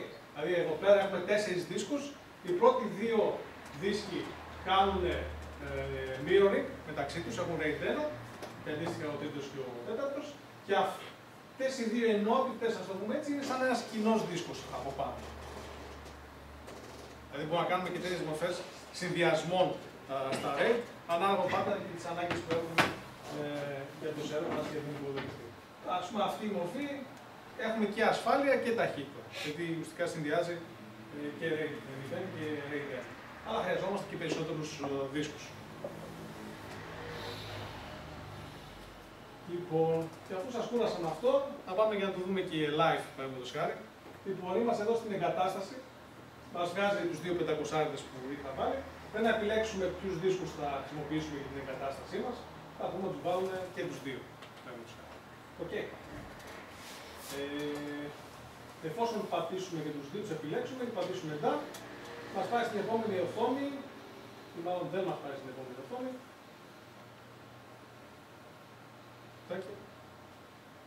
Ναι, γιατί πρέπει να πατήσουμε και ότι θα ρυθμίσω το partitioning εγώ, όχι αυτό. Αυτό το ξέχασα. Πατώντας αυτό, μας βγάζει να επιλέξουμε τη μορφή του δίσκου της εγκατάστασης που θέλουμε να κάνουμε. Από προεπιλογή το CentOS βγάζει LVM. Ωστόσο, πατώντας εδώ, έχουμε και τα standard partition που είναι τα κλασικά partition που μπορούμε να χρησιμοποιήσουμε. Λοιπόν, σε αυτή την περίπτωση μπορούμε να κάνουμε κάποιο RAID. Θα βάλουμε RAID 1 Θα πάμε στο standard partition. Έχει εδώ κάτω το shift για να προσθέσουμε. Απλά επειδή δεν φαίνεται όλη η οθόνη, αν κατέβουμε λίγο πιο κάτω στην εγκατάσταση εδώ, μας δείχνει πόσο χώρο έχουμε συνολικά. Okay. Έχουμε δηλαδή τους δύο 500 που κάνουν το 1 τεραμπάιτ. Προσθέτουμε το δίσκο μας, θα το βάλουμε στο κάθετο στο root και να του πούμε το root να έχει ας πούμε 100 γίγα. OK. Okay. το πολλά δώσαμε, αλλά το ενδεικτικά. Ωραία. Πρόσθεσε στον SDA το root με 100 γίγα κρατάει κλασικά το 5% το σύστημα, πάει στα 93. Στην ε, δεξιά πλευρά της οθόνης μας βγάζει αυτές τις επιλογές για να επιλέξουμε σιγά σιγά τι είδος θα χρησιμοποιήσουμε. Εξ αρχής, επίσης, να σημειώσω, το CentOS 7 έχει σαν file system το XFS. Παρόλο που συνήθως χρησιμοποιούμε το X4 για να κάνουμε format του δίσκους. Έχει κάποια χαρακτηριστικά και αυτό. Για σένα προσωπικά θα πω ότι είναι το X4 που είναι γνωστό σταθερό file system. Λοιπόν, εδώ πέρα στο device type έχει αυτή τη μορφή. Τι θέλουμε να είναι; RAID. Πολύ ωραία. Δίπλα μας βγάζει τι RAID θέλεις. 0, 1. Μας λέει και όλες τις πληροφορίες, βλέπετε ότι το ένα είναι redundancy, το άλλο performance, μας βοηθάει και όλα. Ή άμα πάμε να βάλουμε τώρα RAID 6, θα μας πει ότι δεν έχεις τόσους δίσκους, δεν μπορώ να βάλω RAID 6. Το πας. Σε αυτή την περίπτωση πάμε, τι θέλετε, RAID 0, RAID 1. 1 για να κάνουμε mirror. Mirror, OK, okay. πάμε RAID 1. Βάζουμε, πολύ ωραία, και έχει πάρει τον δίσκο. Αν δείτε αντίστοιχα, εδώ πέρα κάτω, η χωρητικότητα κατέβηκε σε 813. Έκανε mirroring. Ουσιαστικά αυτόματα, το partition μας είναι 100 γίγα που βάλαμε. 100 γίγα στον ένα δίσκο, με, με RAID 1 είναι και 100 γίγα τον άλλο δίσκο. Οπότε συνολικά πέσαμε στα 800. Μας υπολογίζει κατευθείαν ποιος είναι ο, ποια είναι η χρήση που έχουμε με βάση το σύστημα που βάζουμε. Οπότε μπορούμε να πάμε να βάλουμε και τα υπόλοιπα, ας πούμε, εντάξει, άμα στο VAR, αν πούμε ότι έχουμε web server, συνήθως δεδομένα βάζουμε στο VAR, δεν θέλουμε τόσο πολύ home. Παραδείγματος χάρη, είναι το VAR www, πούμε, hosting, το VAR HTML κτλ. που βάζουμε συνήθως στις σελίδε. Άμα ήταν desktop, θα βάζαμε ας πούμε, στο home περισσότερο. Και να πούμε εδώ τα υπόλοιπα, ξέρω εγώ, 400. λίγα.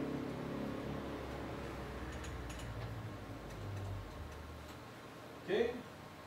Πάμε και εδώ, που λέμε RAID 1. Πολύ ωραία. Εντάξει, τώρα με τα ψηλά βγήκαν κάποια στο τέλος, περίσσεψαν. Αλλά ουσιαστικά έχουμε αυτή τη στιγμή ένα partition των 100 και ένα partition των 400 σε μορφή RAID 1 στους δύο 500 δίσκους. Οπότε και να χαθεί το ένα, ο ένας 500 Μπορούμε να το δοκιμάσουμε, θέλετε, μετά να το κλείσουμε τον ένα, να το βγάλουμε, να δείτε ότι θα συνεχίσει να παίζει, να παίζει το μηχάνημα. Και εφόσον έχουμε τελειώσει, ουσιαστικά συνεχίζουμε με, το, με την εγκατάστασή μας. Και μας βγάζει και μια αναλυτική λίστα το τι θα κάνει η εγκατάσταση. Δηλαδή θα μας καταστρέψει αυτό, θα κάνει MS-DOS partition, θα φτιάξει software RAID εδώ, θα ξανακαταστρέψει αυτό κτλ. Και Boot και swap δεν βάζουμε. χρειάζεται να κάνουμε. Απλά, ναι, μπορώ να βάλω. Εντάξει, τώρα για την εγκατάσταση δεν έβαλα. Μπορούμε να κάνουμε και ένα swap. Να λέω ρε παιδί μου, κάνουμε τι πρέπει να γίνει. Κανονικά χρειάζεται, ναι. αυτό. Εντάξει, απλά το προσπέρασα αυτό εντάξει, για τη δοκιμή. Μπορούμε να βάλουμε και ένα, ξέρω, 4 γίγα. Εκεί. Swap, 4 γίγα. ας πούμε.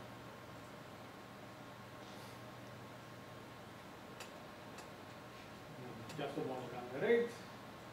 Και το τα έχουμε όλα διπλά.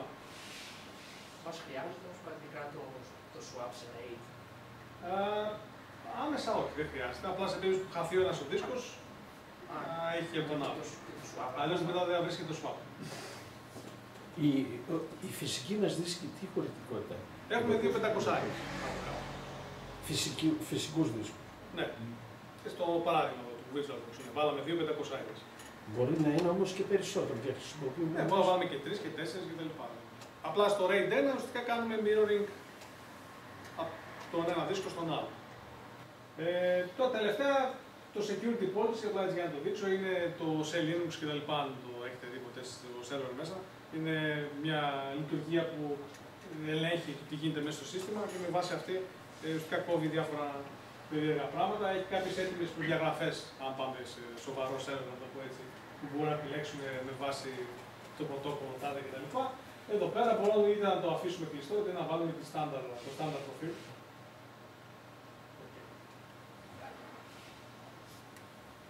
Οπότε, έχοντας τελειώσει αυτά, είμαστε έτοιμοι να εγκαταστήσουμε το σύστημά μας.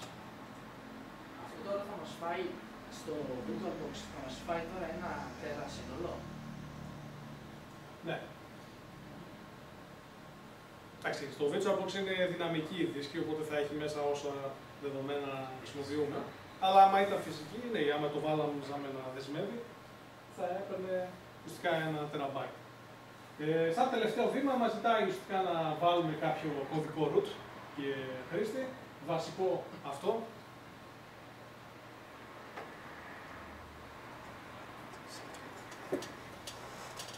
Εδώ κλασικά βάζουμε ένα 2, 3, 4 για να είναι πολύ ασφαλές το σύστημα.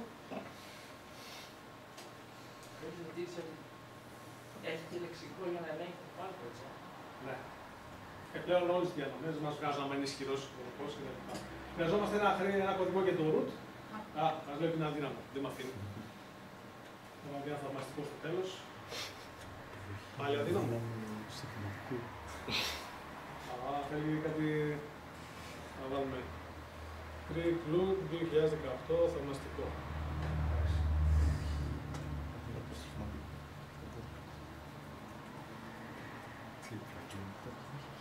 Ωραία. Θα πρέπει να φτιάξουμε και ένα χρήστη, πέρα από το root δηλαδή το διαχειριστή που έχουμε στα- στην εγκατάστασή μας. Εδώ free club, username τάδε. Μπορούμε να το βάλουμε να είναι και διαχειριστής κατευθείαν ή μπορεί να είναι απλός χρήστης. Και θα βάλουμε Greek Loop 2017. Παράλληλα αυτό κάνει η εγκατάσταση, από κάτω εδώ πέρα τρέχει. Κατεβάζει από το ίντερνετ γιατί έχουμε net install.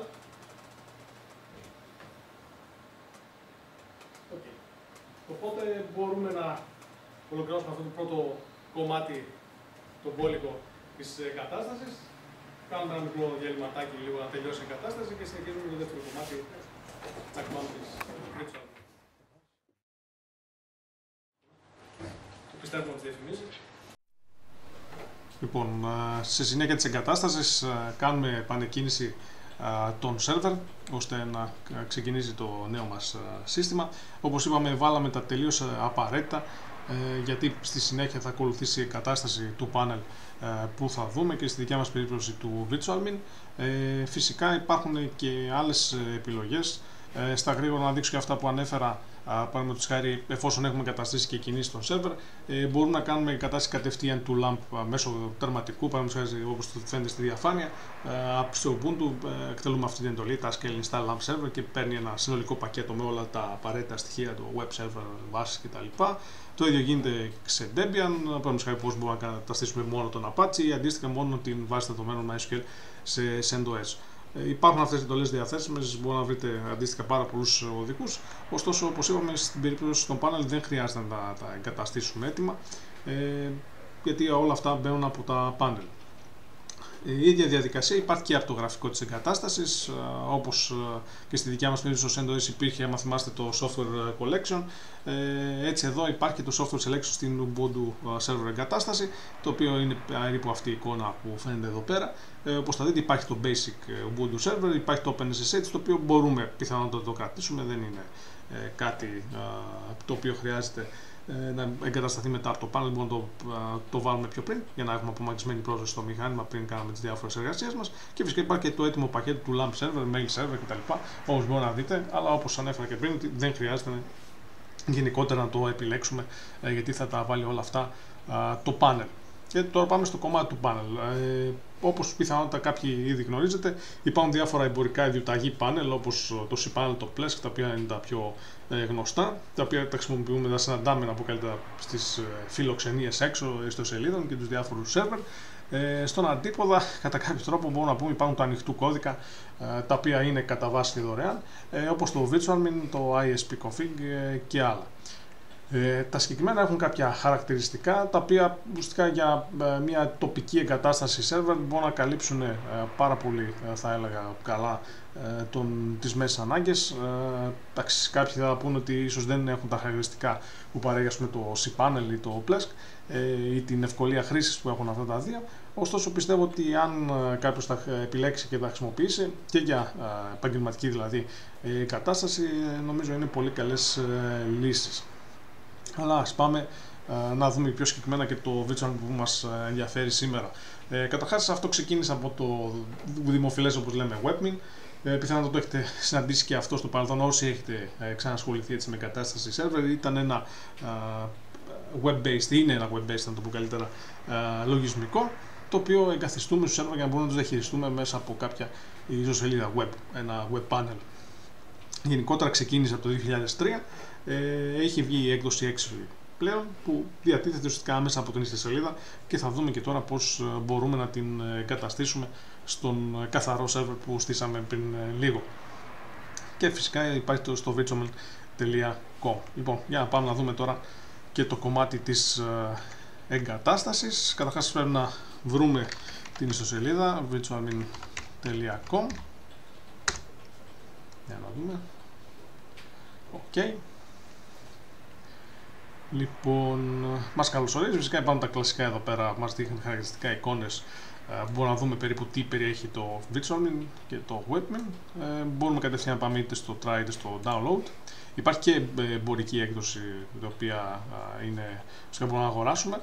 Ε, εμείς θα χρησιμοποιήσουμε την ε, ανοιχτού κώδικα καθαρά, την GPL έκδοση, η οποία ουσιαστικά τρέχουμε αυτές τις απλές εντολές Ουσιαστικά κάνουμε ένα wget το install, το install sh και και πέρα το εκτελούμε μέσω του bin στον server ε, μας. Αλλά πάμε να το δούμε και στην πράξη πώς ε, γίνεται όλο αυτό. Λοιπόν, ε, γυρνάμε στο τερματικό μας. Έχει ξεκινήσει ο server.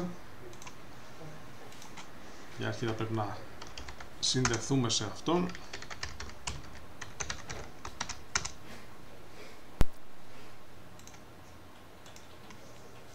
Λοιπόν, εφόσον συνδεθήκαμε πάνω στο μηχάνημα, μπορούμε να πάμε, το χάρη, στο root, ώστε να κατεβάσουμε το σκριτάκι της εγκατάστασης, το οποίο απλά το κάνουμε αντιγραφή επικόλληση από την ιστοσελίδα του VirtualMin.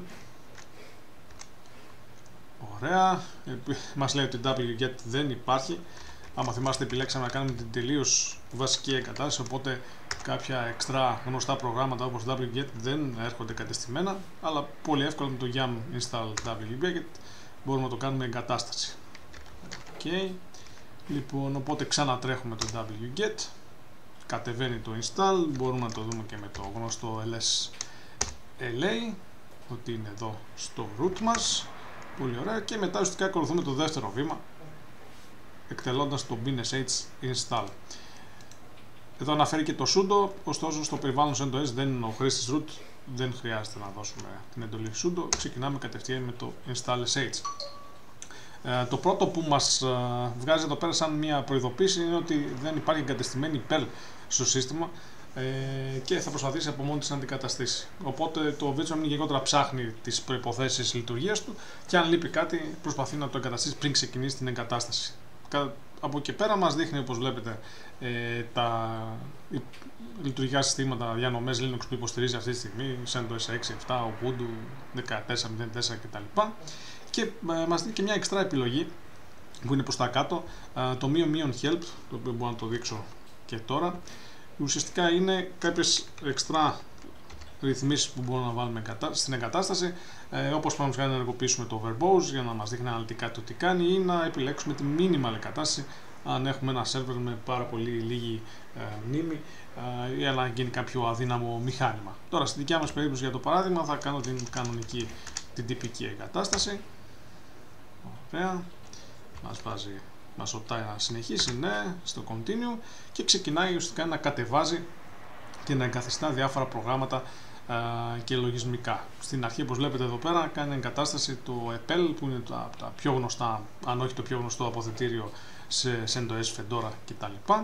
Ε, στη συνέχεια προχωράει τώρα, βάζει PHP όπως βλέπετε, την PHP 7 και σταδιακά θα κάνει εγκατάσταση σε όλο το πακέτο Lambda, βάλει τον Apache ε, την βάση δεδομένων MariaDB. Ε, από προκαθορισμένα έχετε με τη MariaDB 5.5. Θα δούμε και στη συνέχεια πώς μπορούμε να την αναβαθμίσουμε σε κάποια μεγαλύτερη, νεότερη ε, έκδοση. Και με αυτόν τον τρόπο, ουσιαστικά με αυτά τα δύο απλά βήματα, μπορούμε πολύ εύκολα να προχωρήσουμε την εγκατάσταση του Virtual στον server μας. Δεν είναι κάτι το δύσκολο. Λοιπόν, θα του δώσουμε λίγη ώρα για να μπορέσει να ολοκληρώσει την εγκατάσταση.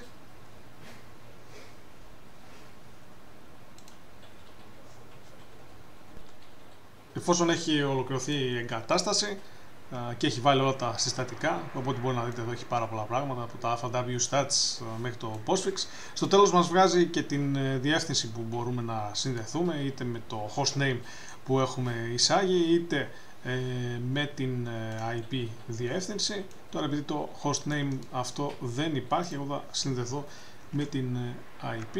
Ξαναγυρνάμε στο browser μας, στο Firefox Λοιπόν, θα και το βάλω και σε πλήρη οθόνη.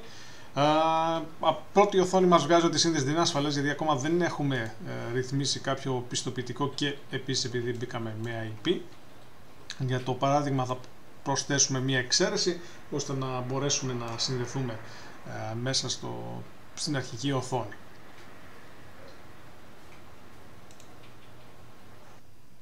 Ε, συνδεόμαστε με το χρήστη root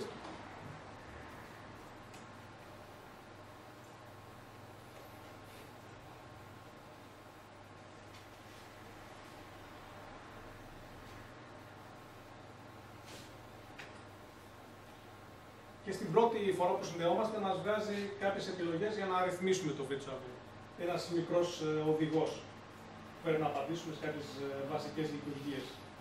Καταρχάς, ε, ανάλογα τη μνήμη που έχουμε, εδώ μας λέει θέλετε να τρέχει πάντα το virtual me, να είναι piloted, όπως και αντίστοιχα και να υπάρχει ένα, μια υπηρεσία που να ελέγχει για τις διευθύνσεις στο email, δηλαδή αν θα χρησιμοποιήσουμε και mail στον server, μπορούμε αντίστοιχα να τα προφορτώσουμε, να το πούμε και τα δύο, ώστε να τρέχουν πάντα. Με αυτόν τον τρόπο ουσιαστικά ε, χρησιμοποιείται περισσότερη μνήμη, αλλά τα πράγματα λειτουργούν πιο γρήγορα. Αλλιώς επιλέγουμε όχι και αυτές οι υπηρεσίες φορτώνουν μόνο όποτε τις χρειαστούμε. Λιγότερη μνήμη, μεγαλύτερη καθυστέρηση. Τώρα βάζω βασικά ναι το πρώτο, όχι το δεύτερο, από τη στιγμή που δεν θα τρέξουμε email.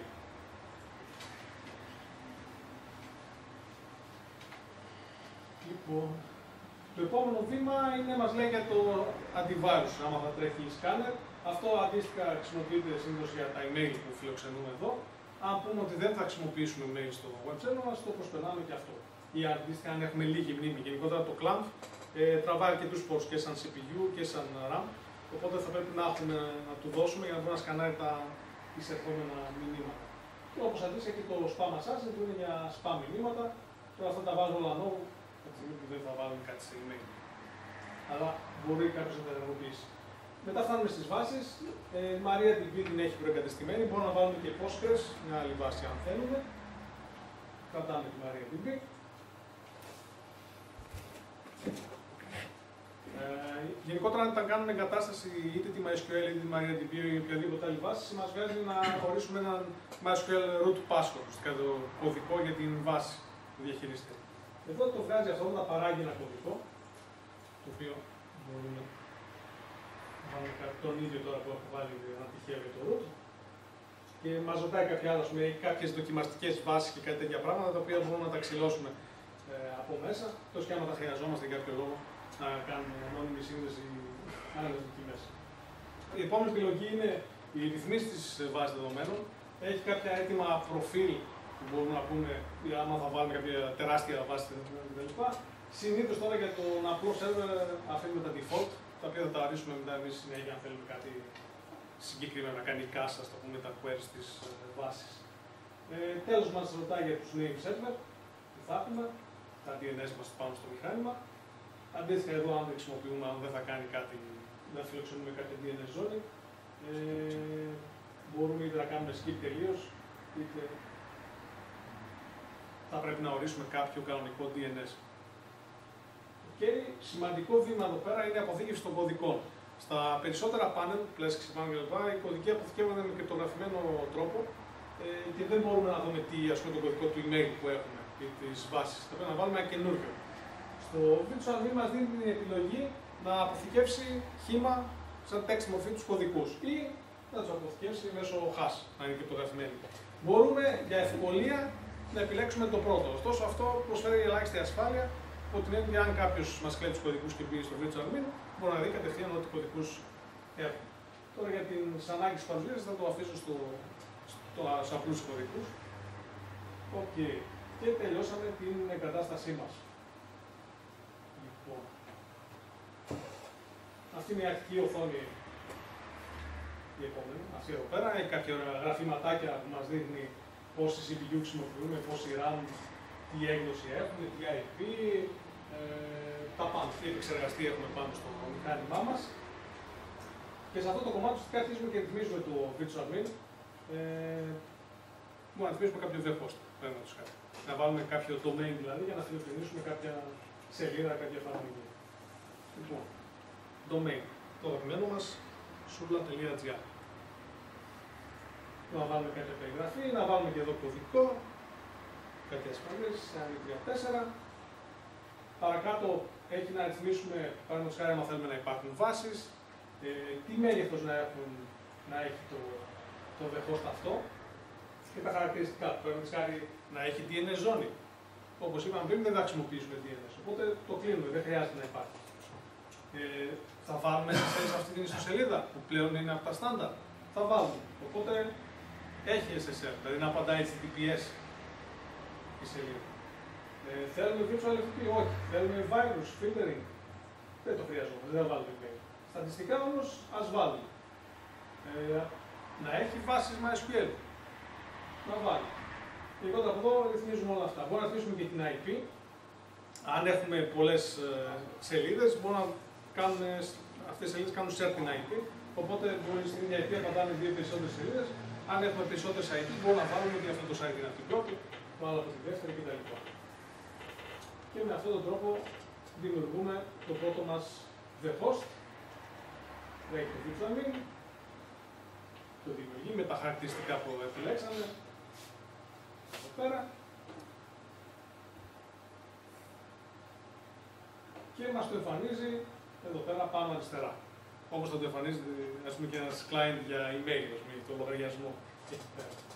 Και πλέον μέσα από εδώ μπορούμε να επιλέξουμε ε, στοιχεία του συγκεκριμένου ρεφός. Παραδείγματος χάρη στο Edit Users ε, χειριζόμαστε τους χρήστες.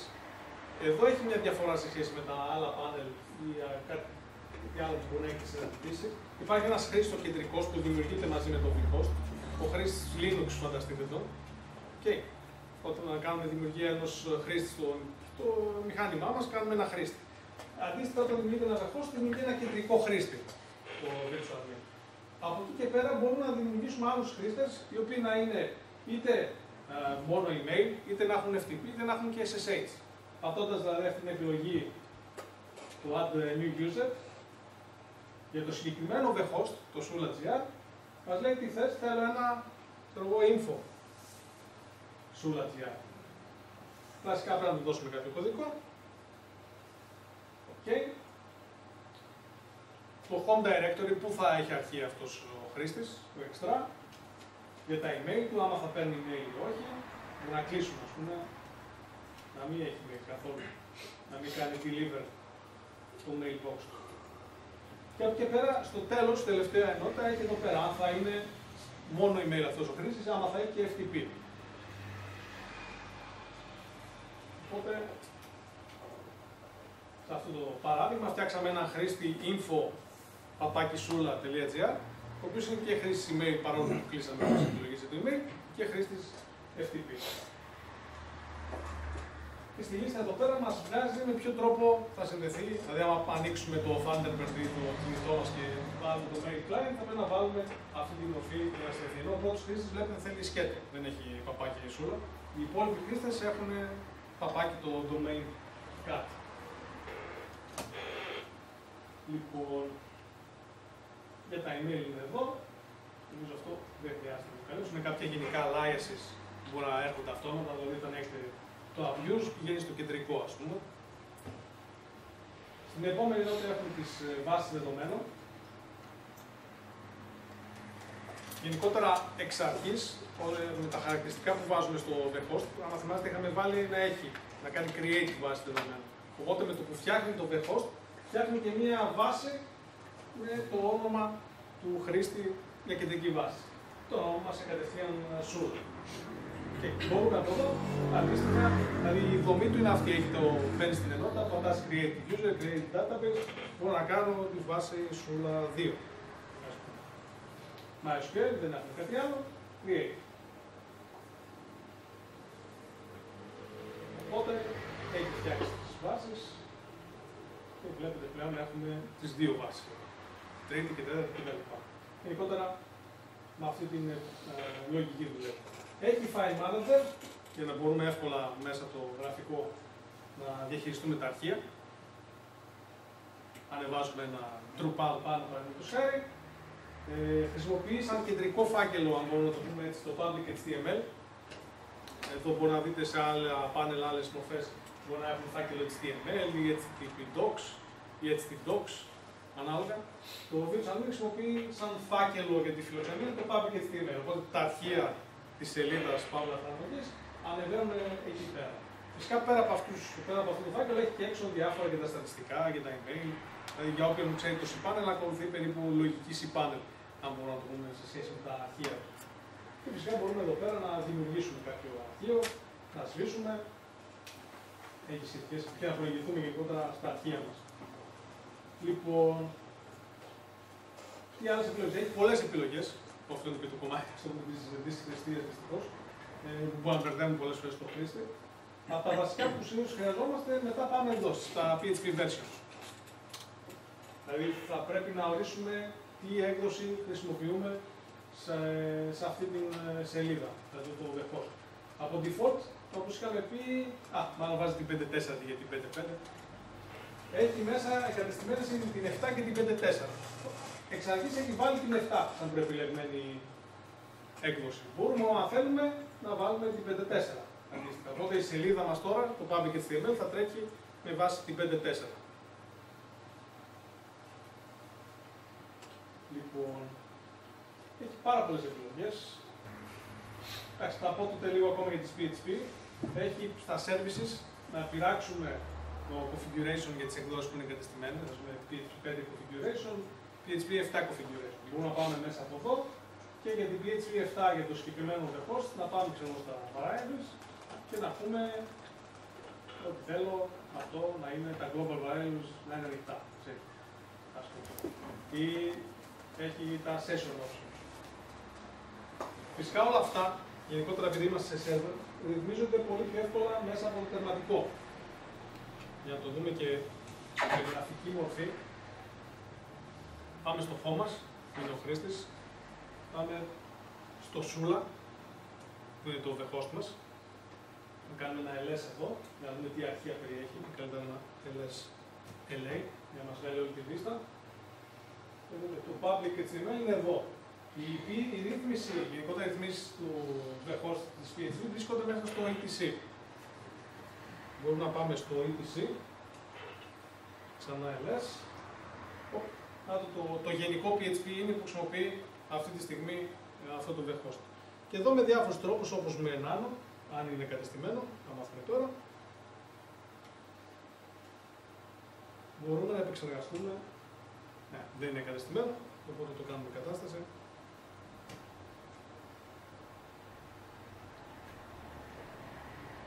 Έχουμε εδώ το PHP μας για την έκδοση. Τώρα ουσιαστικά είχαμε ενεργοποιήσει την 5.4 αν θυμάστε, οπότε αυτό που πειράζουμε είναι για την έκδοση 5.4.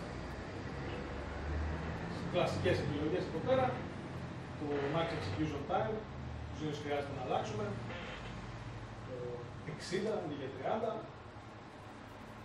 το Max Input Time, το 600,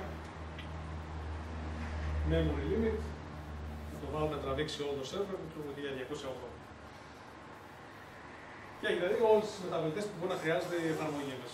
Εκεί παίζει μετά τι βαστίζουμε. Order, Joomla, κάποια άλλη εφαρμογή PHP πιο βαθιά κτλ. Και αποθηκεύουμε τις αλλαγές. Σε περίπτωση ωστόσο που κάνουμε αλλαγές κατευθείαν ε, από εδώ πέρα, το Virtual Machine δεν τις καταλαβαίνει στο κομμάτι του web server. Δηλαδή, ο web server διάβασε μια φορά το PHP είναι, κάναμε εμείς την αλλαγή, προς το παρόν δεν ξέρει ότι έχει αλλάξει. Οπότε θα χρειαστεί να κάνουμε επανεκκίνηση στον ε, web server, τον Apache. Στα καινούργια, στις καινούργιες διανομές έχουμε το Systemd, το οποίο ουσιαστικά τρέ- κάνουμε τις επανεκκινήσεις μέσω του service, ας πούμε HTTPD, που είναι ο, ο Apache, της CentOS. Θα δώσουμε ένα status για αρχή, για να δούμε ότι τρέχει. Και μετά ένα restart. Ωραία. Και επανεκκινήσαμε το web server. Οπότε, δηλαδή, άμα κάνουμε μια αλλαγή στο configuration, θα πρέπει να κάνουμε και επανεκκίνηση στην αντίστοιχη υπηρεσία. Ε, Εκτός κι αν την αλλαγή την κάνουμε μέσα από το virtual admin, σε εκείνη την περίπτωση μπορεί να την καταλάβει για να κάνει αυτόματα επανεκκίνηση. Αλλιώς, άμα την πειράξουμε απ' έξω, πρέπει να κάνουμε επανεκκίνηση. Ε, λοιπόν, αντίστοιχα, μέσω τερματικού μπορούμε να δούμε αυτά τα βασικά. Δηλαδή, PHP είπαμε, ξέρουμε, έχουμε 7. Η βασική είναι η 5-4. Οπότε η 7 είναι σαν extra εγκατεστημένη. Ή αντίστοιχα να δούμε την έκδοση της βάσης. Αυτά μπορούμε να τα δούμε και μέσα από το panel, όταν τα κάνω με μία εντολή. Συγγνώμη, στη, στη βάση δεδομένων δεν είχαμε πει στην αρχή ότι βάζουμε την, το MariaDB; Ναι, Χρειάζεται να αλλάξουμε όνομα ή παίρνει το MySQL; Παίρνει το MySQL γιατί ουσιαστικά την ε, σχεδιάσανε για να γίνει νέος αντικαταστάτης της MySQL. Οπότε ουσιαστικά τρέχει και με τις ίδιες εντολές περίπου. Πάλι μπορεί να γράψουμε ας πούμε, service MySQL και να καταλάβει ότι έχει MySQL παραδείγματος χάρη, σε κάποιες ε, διανομές. Τώρα στο CentOS στις νεότερες εκδόσεις νομίζω πλέον δεν απαντάει άμα βάλουμε πιο καινούργια έκδοση. Δηλαδή, άμα γράψω MySQL μπορεί να μου πει. ότι, «Ω, δεν ξέρω τι είναι αυτό. Να το γράψω σωστά, θα βγει. Ναι, δεν βρέθηκε. Δεν ξέρω, γιατί είναι τελευταία έκδοση. Άμα είχαμε προηγούμενη διανομή σαν το S6 και είχαμε αντικαταστήσει την ε, MySQL, θα- εκεί θα έπαιζε και το service MySQL status και το service MariaDB status. Αλλά πλέον από τη στιγμή που ξέρουμε ότι χρησιμοποιούμε MariaDB, πάμε και γράφουμε κατευθείαν MariaDB. Δεν χρειάζεται να χρησιμοποιούμε τις εντολές, να το πω έτσι, τη MySQL, τουλάχιστον στα βασικά αυτά. Ε, μπορούμε να δείξουμε πώς βάζουμε την νεότερη έκδοση. Με το αποθετήριο που λέγαμε πριν. Τα αποθετήρια σε CentOS βρίσκονται στη διαδρομή etc για.repos.d. Να κάνω και ένα clear για να φαίνεται πιο καλά. Είναι σε αυτή τη διαδρομή. Okay. Εδώ μέσα ουσιαστικά είναι τα αποθετήρια που είναι εγκατεστημένα ως server. Είναι τα βασικά τους CentOS ή και κάποια εξτρά που έβαλε το virtual το FL κτλ. Εδώ πέρα δημιουργούμε ένα καινούργιο αποθετήριο, ας πούμε mariadb.repo okay. και τώρα επεξεργαζόμαστε το αρχείο του repo θα πρέπει να επικολλήσουμε αυτά που μας έχει βγάλει η βάση.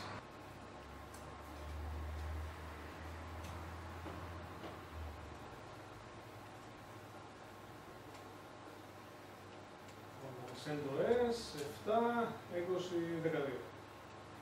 Και εδώ μας βγάζει το κείμενο ουσιαστικά, πρέπει να αντιγράψουμε για να βάλουμε το αποθετήριο για επικόρηση.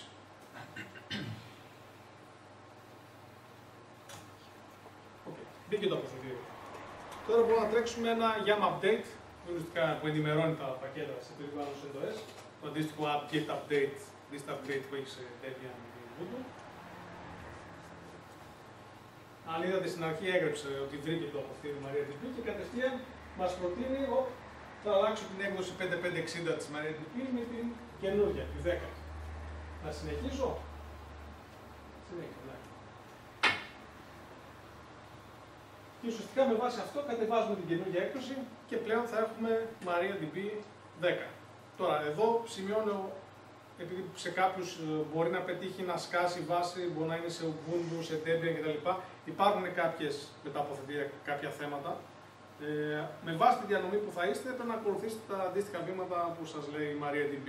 Όταν προσπαθείτε δηλαδή να αντικαταστήσετε τη MySQL ή να αναβαθμίσετε σε καινούργια έκδοση. Γι' αυτό ανέφερα και πριν, καλό είναι να μην πάτε ξαφνικά από την 5.5 στη 13, να πάτε σταδιακά για να μην υπάρξει κάποιο άμεσο σφάλμα. Αλλά γενικότερα η κάθε διανομή έχει οδηγίες το πώς ε, μπορεί να αποφύγετε αυτά τα θέματα. Σε CentOS, τουλάχιστον 7 και στην τελευταία έκδοση, η αναβάθμιση είναι προχωράει κανονικά χωρίς να βγάζει κάποιο πρόβλημα. Παλαιότερα ήθελε κάτι περίεργα, έβγαζες στη βάση τη MySQL, ξανά έβγαζε στη MariaDB, ενώ τώρα μπορείς να την κάνεις κατευθείαν αναβάθμιση.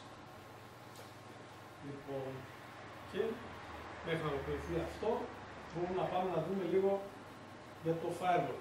Το Vitchamin ασχολείται με το κομμάτι της φιλοξενίας, τα the host κτλ. Το firewall οπότε δεν είναι άμεσα στις ρυθμίσεις που έχουμε στο Vitchamin. Το firewall θα το βρούμε στο κομμάτι που δεν φαίνεται στο σκοπείο του WebMe. Που είναι ουσιαστικά η ρύθμιση του server, των υπηρεσιών του server, να το πω έτσι. Έχει εδώ πέρα στην νότα του networking, έχει την ε, επιλογή του firewall. Τώρα για το firewall γενικότερα, για την προστασία έχουμε πολλές επιλογές πλέον. Ε, μπορούμε να χρησιμοποιήσουμε το κλασικό firewall του Linux, που είναι IP tables ε, από κάτω, ε, το οποίο έχει έτοιμους κανόνες στο virtual εξ αρχής είναι κλειστό. Μπορούμε να έρθουμε εδώ και να ενεργοποιήσουμε για IPv4, για IPv6. Προσοχή και εδώ πλέον έχουμε και IPv6, που το ξεχνάμε αυτό. Δηλαδή, ο server μπορεί να έχει και IPv4 και IPv6 και εμείς να έχουμε firewall μόνο για το IPv4. Για να περνάνε περίεργα πράγματα μέσα του IPv6. Ε, λοιπόν, το συγκεκριμένο ναι, εδώ μας λέει ότι δεν βρήκε ας πούμε, το πακέτο IP tables, οπότε δεν μπορώ άμεσα να το ρυθμίσω. Για να χρησιμοποιήσουμε αυτό το firewall, το Linux IP tables όπως λέγεται εδώ πέρα, θα πρέπει να καταστήσουμε τα IP tables 6 κτλ. Εναλλακτικά μας προσφέρει και το firewall D, που είναι η καινούργια ε, λειτουργία. Αυτό τρέχει από προκαθορισμένα έχει έτοιμες και τις πόλει που χρειάζεται συνήθως στο virtual δηλαδή για το web server, HTTP, HTTPS, την 80443, για SSH στην 22, τα email 110, 143 κτλ. Οπότε το firewall αυτό είναι έτοιμο προς uh, deploy. Ερχόμαστε εδώ και πατάμε απλά apply configuration για να το περάσει. Και είναι κανόνες, μπορούμε να σβήσουμε κάτι. Μπορούμε να μην θέλουμε, ας πούμε, δεν θέλουμε αυτή την να είναι Το επιλέγουμε και το σβήνουμε.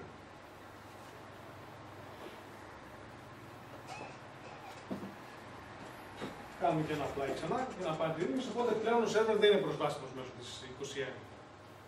Δεν μπορεί να μπει κάποιος. Για να ξαναγυρίσουμε και εδώ να το δούμε. Οκ, τελείωσε. Να επιβεβαιώσουμε κιόλας ότι η βάση μας έχει πάει στη 12 και να είναι 12. Το βάζω λίγο πιο καθαρά. Είναι μέσα στο μείον V κεφαλαίο.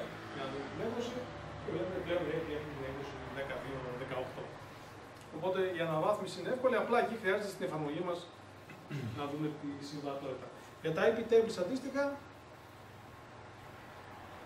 τα οποία θα μας βγάλει. Λοιπόν, αυτό είναι ο χειροκίνητος τρόπος για να δούμε τους κανόνες του firewall ουσιαστικά, μια εντολή IP tables, τα οποία ουσιαστικά χρησιμοποιεί αυτά που δώσαμε μέσω του firewall D. Σημείωσε εδώ. Το firewall D και το άλλο firewall που έχει είναι καθαρά ε, στατικό. Δηλαδή, περνάει, κάποιος δεν περνάει.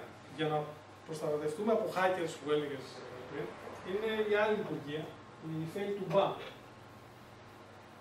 Όπω την αναφέρει. Είναι αυτή εδώ η υπηρεσία. Αυτή ουσιαστικά ενεργοποιείται, βάζουμε και ποια uh, jail θέλουμε να έχει.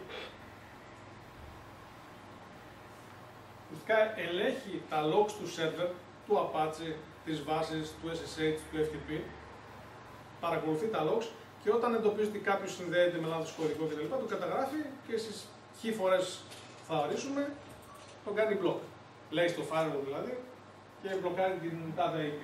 Εδώ από προκαθορισμένα έχει πάρα πολλά chain, δηλαδή οι λειτουργίες που μπορούμε να βάλουμε να παρακολουθεί. Δηλαδή για τον web server έχει για authentication του Apache. Καμιά φορά που μας πετάει κωδικό, μπορεί να παρακολουθεί αυτό. Έχει για bad bots, δηλαδή γνωστά bots που κάνουν περίεργα πράγματα. Έχει για σκριτάκια, για sensor, ό,τι θες. Για την αλληλογραφία, έχει ακόμα και για CMS, Drupal Authentication. Που αν έχουμε κατεστημένο Drupal, μπορεί να παρακολουθείτε το login του Drupal. Και αν κάτι δεν πάει καλά, να τους κόβει. Οπότε με αυτή την ε, υπηρεσία, το Facebook παρακολουθούμε αυτό. Και προστατευόμαστε κατά κάποιο τρόπο ε, από ένα κομμάτι επιθέσεων. Φυσικά υπάρχουν και άλλα firewall. Ένα γνωστό ε, είναι το CSF, το Fixed Server Firewall, που χρησιμοποιείται ευρέω. Ε, και ουσιαστικά παρέχει αυτό αντίστοιχη λειτουργία firewall και check. Γενικότερα, ένας web server έχει πολλά πράγματα που μπορεί να βιαστούν, να μπορούμε να το θέσουμε έτσι. Σίγουρα ξεκινάμε η καρδιά είναι οι ίδιε εφαρμογές. Δηλαδή, αυτό νομίζω είναι κλασικό παράδειγμα. Ε, κάνουμε κατάσταση ένα Joomla, το ξεχνάμε στην έκδοση 1.5.2 του 1995 και ξαφνικά βρισκόμαστε με ένα ε, χακίλι όλο, ξέρω εγώ, ε, μια τουρκική σημαία κτλ. Αυτή είναι η κλασική περίπτωση βλάβης που λέμε. Οπότε θα πρέπει να συντηρούμε την εφαρμογή μας. Γιατί γενικότερα οι εφαρμογές είναι το πιο ευαίσθητο σημείο στο κομμάτι των παραβιάσεων. Δηλαδή, οι σερβερ για να χακάρουν κατευθείαν τον σερβερ είναι πιο δύσκολο. Φυσικά, firewall επιβάλλεται, εννοείται, όταν θέλουμε να στήσουμε το σερβερ. Και από εκεί πέρα αρχίζουμε και βάζουμε τέτοια συστήματα. Fail to ban, ε, μπορούμε ακόμα και στον Apache. Έχει ο Apache ένα module που λέγεται Mod Security. Αυτό ελέγχει ουσιαστικά τα αιτήματα που φτάνουν στις σελίδες και αν ταιριάζουν σε γνωστά περίεργα αιτήματα, SQL injection, τα κόβει, δεν τα αφήνει να περάσουν. Αυτό είναι κατευθείαν σύστημα ασφαλείας πάνω στον Apache. Οπότε μπορούμε από εκεί πέρα και στις υπηρεσίες τις ίδιες να βάζουμε ε, περιορισμούς ασφαλείας, να το πω έτσι. Αλλά αυτό αντίστοιχα βαραίνει και το σύστημά μας. Εκεί παίζουμε λίγο το τι θέλουμε να κάνουμε. Κάθε εβδομάδα, ας πούμε, updates είναι καλά, updates. Ξανά το ίδιο στον update. Αν είναι security update, θα χρειάζεται και κάθε ώρα. Ναι, όχι, εγώ λέμε τώρα μπορώ να, να βάλω κάτι τουλάχιστον τα security updates κάθε ε, δύο-τρεις μέρες να τρέχει αυτόματα ένα, μία εντολή να κατεβάζει δύο τελευταίε security updates. Τώρα για να αλλάξει PHP κλπ. Ε, μπορώ να το κάνω μόνος μου αν κρίνω Ναι. ότι. Αν είναι κάποιο δηλαδή, feature Ναι, που που- αναβαθμίζεται, δεν σε νοιάζει τόσο πολύ. Αλλά αν είναι security, ναι. Security πρέπει να τρέχουν. ναι. Είναι καλό αυτό γιατί υπάρχουν πολλές παραβιάσεις. Δυστυχώς και στον κόσμο του Linux, να το πω έτσι, ε, υπάρχουν και εκεί κενά ασφαλείας. Δεν, είναι- δεν είναι τίποτα απειρόβλητο να το πω έτσι. Απλά ε, όσο πιο γρήγορα βρίσκονται αυτά και αναβαθμίζονται, αντίστοιχα είναι πιο ασφαλή η server. Ε, μπορώ να δείξω επίσης κάτι που χρειάζεται, θα έλεγα, πώς βάζουμε extra PHP. γιατί είναι κλασική, ε, κλασικό search μετά από την εγκατάσταση. Έχουμε την 7, έχουμε την ε, 5.4 και θέλουμε να βάλουμε ας πούμε την 7.2, την τελευταία. Στο CentOS υπάρχουν κάποια αποθετήρια, τα software collections, που είναι από τη Red Hat και που νομίζω παίζουν και στο Cympanel πλέον.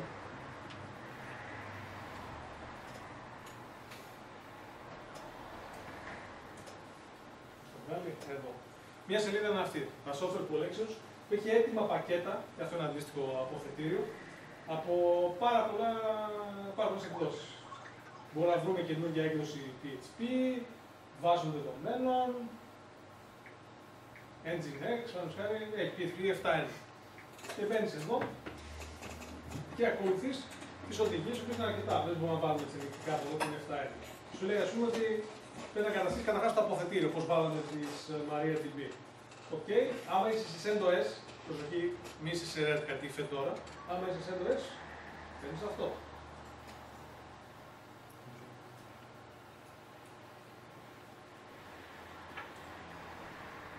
Okay. Είναι ήδη εγκατεστημένο, να το έβαλε το virtual Λοιπόν, μετά κάνεις εγκατάσταση την PHP 7.1. Πολύ ωραία. Εδώ, αν θα δείτε, βάζει βασικά πακέτα της PHP. Δηλαδή την ίδια την PHP, το PHP XML, zip κτλ. Συνήθως οι σελίδες και οι εφαρμογές ε, χρειάζονται παραπάνω πακέτα, δηλαδή χρειάζονται το MB string, ή χρειάζονται το IMA, αν θέλετε, ή το GD για εικόνες. Αυτά υπάρχουν εξτρά πακέτα με αυτή τη μορφή RH71, παύλα PHP, παύλα GD, που πρέπει να κάνουμε εγκατάσταση. Okay. Λοιπόν, για να δούμε. Βασικά από εδώ έχουμε τελειώσει να καταστήσει την 7.1 σαν extra PHP. Υπάρχει δυνατότητα να κάνουμε και αυτή την εντολή, με την οποία ουσιαστικά αλλάζει τη βασική PHP του συστήματος, που είναι η 5.4 στη δικιά μας περίπτωση, και να βάλουμε την 7.1. Πιθανότατα αυτό δεν το θέλουμε, γιατί ουσιαστικά όλα τα site που έχουμε που έχουν βασική την 5.4 ξαφνικά θα βρεθούν 7.1 για να σκάσει κάτι.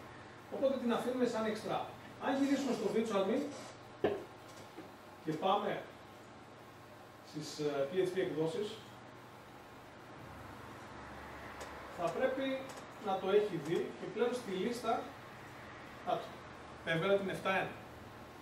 Οπότε κατευθείαν με αυτόν τον τρόπο κάναμε κατάσταση την 7.1. Να δείξω έτσι ενδεικτικά και πώς βλέπουμε τα εξτρά πακέτα. Αντί για install, μπορούμε να κάνουμε list και αυτά, ξέρω εγώ, αστεράκι. Δεν είναι κατεβατό τώρα.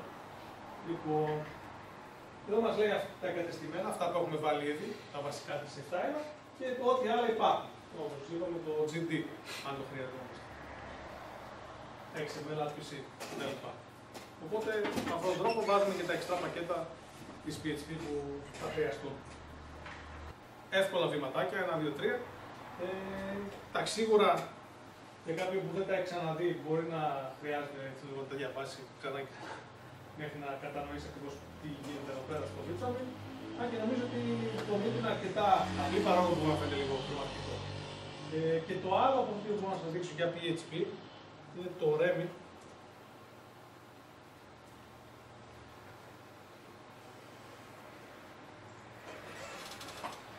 Λοιπόν, αυτός ο φίλος μας ε, έχει πολλά πακέτα αντίστοιχα και έχει και ένα ωραίο οδηγό, αν μπείτε στη σελίδα του, με RPMs, remi.net. Πάνω δεξιά εδώ πέρα έχει ένα wizard, το οποίο μας βάζει να ελέγξουμε. OK, okay, τι σύστημα έχω, έχω CentOS 7. Πολύ ωραία. Τι PHP θέλω εδώ, θα βάλω 7.2. Ή να βάλουμε 7.3.5. Ακόμη πιο Τι τύπο εγκατάστασης θέλω, θέλω να είναι η βασική PHP ή να μπει μαζί με άλλες. Στη δικιά μας περίπτωση θα το κάνουμε μαζί με άλλες. Δεν χρειάζεται να αλλάξουμε την PHP. Εκτός και αν θέλετε να δοκιμάσουμε να δείτε πώς αλλάζει και η βασική. Η βοήθεια του κοινού. Τι από τα δύο θέλετε. Το δεύτερο; Το δεύτερο. Okay. Μαζί με τις άλλες. Τώρα, και αυτό μας βγάλει, μας βάζει, λέει, βάλει το αποθετήριο επέλα. Αυτό το έχουμε ήδη μέσα, το έχει βάλει ήδη το Virtual οπότε δεν χρειάζεται να κάνουμε κατάσταση και μετά μας λέει, βάλε το αποθετήριο το δικό μου, το REM. Okay.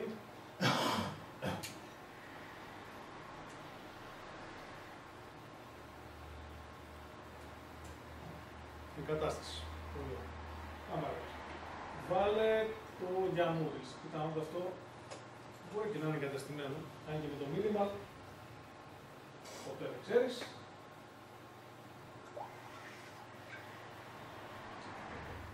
Είναι εγκαταστημένο. Λοιπόν, και τώρα μας λέει, αντίστοιχα για να κάνεις εγκατάσταση στην 7.3, τρέξει αυτό.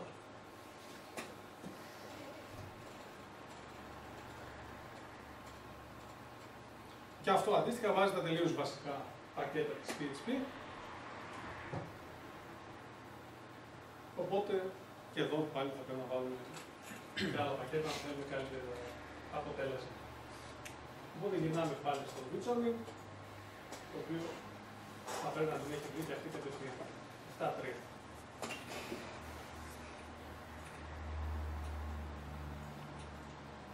Οπότε με αυτόν τον τρόπο ρυθμίζουμε και τις ε, PHP. Από εκεί πέρα ε, μπορώ να πω έτσι ενδεικτικά για τα SSL, ότι έχει υποστήριξη και για τα νεότερα Let's Encrypt το Virtual Root. Μπορούμε να κάνουμε δηλαδή εγκατάσταση Let's Encrypt.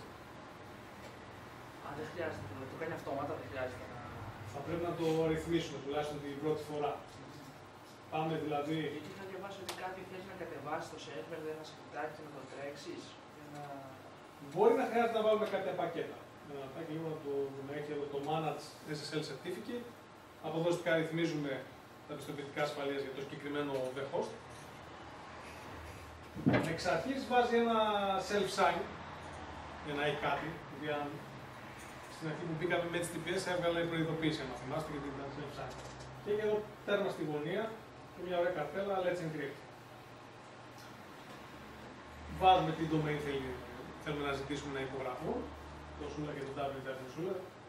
Δυστυχώς αυτή τη στιγμή κανένα από τα δύο δεν απαντάει για να μπορέσουμε, θα μας ε, δώσει άκυρο το Let's Encrypt, δεν θα μας αφήσει να εκδώσουμε τα πιστοποιητικά γιατί δεν απαντάει με το domain. Ωστόσο, τρέχοντας αυτά, δεν πατάς εδώ request certificate, ουσιαστικά συνδέεται αυτό με το Let's Encrypt, στέλνει έτοιμα να βρεθεί, ας πούμε, να βγει πιστοποιητικό για αυτό το domain και το κάνει εγκατάσταση. Τώρα στην δικιά μα περίπτωση δεν υπάρχει το domain, οπότε δεν μας αφήνει το Let's Encrypt να το εγκαταστήσουμε. Αλλά από αυτή την ενότητα ουσιαστικά κάνουμε εγκατάσταση το Let's Encrypt, το οποίο στη συνέχεια έχει και μια ωραία επιλογή εδώ πέρα. Μπορούμε να κάνουμε κόπη σε άλλες υπηρεσίες. Δηλαδή το πιστοποιητικό που θα βάλουμε εδώ, μπορούμε να το πούμε πέρασε το και στο WebMeet. Ή πέρασε το και στο Postfix για την αλληλογραφία. Οπότε μέσω αυτού περνάμε και το πιστοποιητικό σε άλλες υπηρεσίες, αντί να κάνουμε την ίδια διαδικασία ξεχωριστά. Λοιπόν, από εκεί και πέρα υπάρχουν και άλλες ρυθμίσεις εδώ. Σίγουρα χρειάζεται, αν θέλει κάποιος να ασχοληθεί με το Visual Min, πρέπει να τις ψάξει αναλυτικά. Μπορούμε να πούμε ίσως για τα backup βασικό στο server. Ε, λοιπόν, έχει εδώ πέρα αυτή την ενότητα backup εντοπιστό. Έχει λειτουργίες για να συνδεθεί και με εξωτερικές υπηρεσίες, παραδείγματο το package της Amazon, αν θέλει κάτι τέτοιο, και τα σχέδια τους backups. Και εδώ πάμε και του δημιουργούμε κάποια προγράμματα χρόνου τύπου, τα οποία παίρνει backup όταν θα του πούμε. Μπορούμε να διαλέξουμε όλα τα host που φτιάξαμε, σούλα, μούλα, νούλα κτλ. ή κάποιο συγκεκριμένο, μόνο το σούλα. Μπορούμε να του πούμε επίσης τι θα πάρει από όλα αυτά. Δηλαδή θα πάρω, OK, πέραν το σούλα GR backup, θα πάρω μόνο τα αρχεία του site, θα πάρω τα email, θα πάρω τα πάντα. Α πούμε, να πάρει τα πάντα. All features. Είναι προεπιλεγμένο. Μετά διαλέγουμε πού θα στείλει αυτό το backup. Μπορεί να το αποθηκεύσει τοπικά στον ίδιο server, όπως το local, μπορεί να το στείλει σε ένα απομακρυσμένο server όπω με FTP, με SSH, όπως είπαμε και στις εξωτερικές υπηρεσίες. Και ανάλογα το που θα το στείλουμε, πρέπει να βάλουμε την αντίστοιχη μορφή. Εδώ πέρα έχει ένα μικρό trick που θα πρέπει να προσέξουμε. Στην, άμα θέλουμε να ενοποιήσουμε την αυτόματη διαγραφή.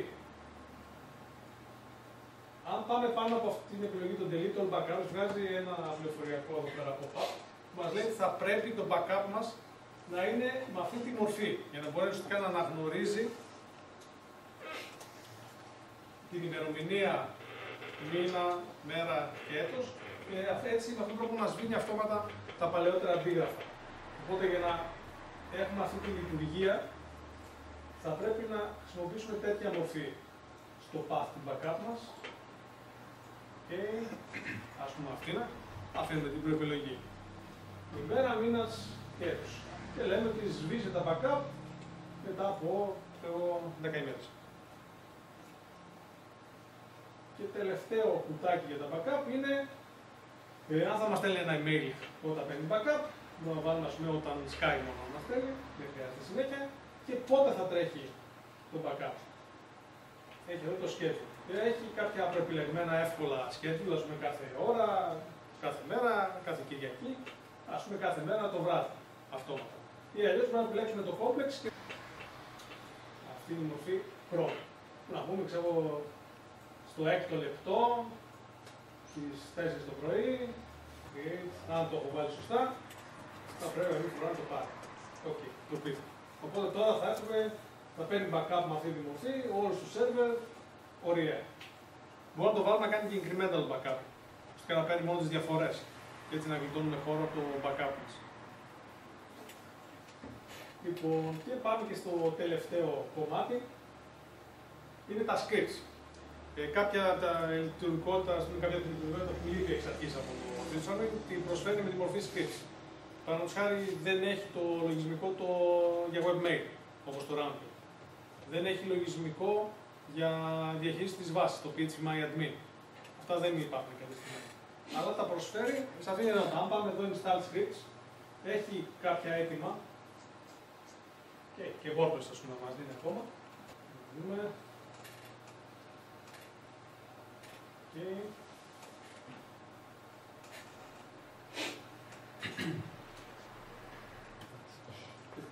Εφόσον το έχει βάλει, θα πρέπει να είμαστε περήφανοι κάτω γενιές του WordPress. Αν βρω και το preview, το πήγανε; Ε, ναι. WordPress θα βάλει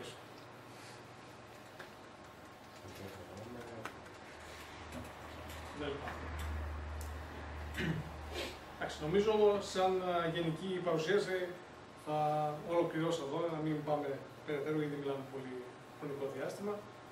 Ε, είπαμε πολλά και για την εγκατάσταση και για την ρύθμιση του virtual μην έχει φυσικά ακόμα περισσότερα. Απορίες, παύλα ερωτήσεις, παύλα αν θέλετε να δούμε κάτι, κάποιο συγκεκριμένο κομμάτι. Ναι. Αυτό το, πώς το λέμε, virtual min, virtual min, ναι. Ε, είναι κάτι που δουλεύει με το Apache. Ουσιαστικά είναι panel, control panel. Control panel. Το οποίο, ναι, από κάτω έχει το Apache. Το Apache Foundation δεν έχει δικό του control panel. Α, από όσο γνωρίζω όχι. Α, δεν έχει δικό.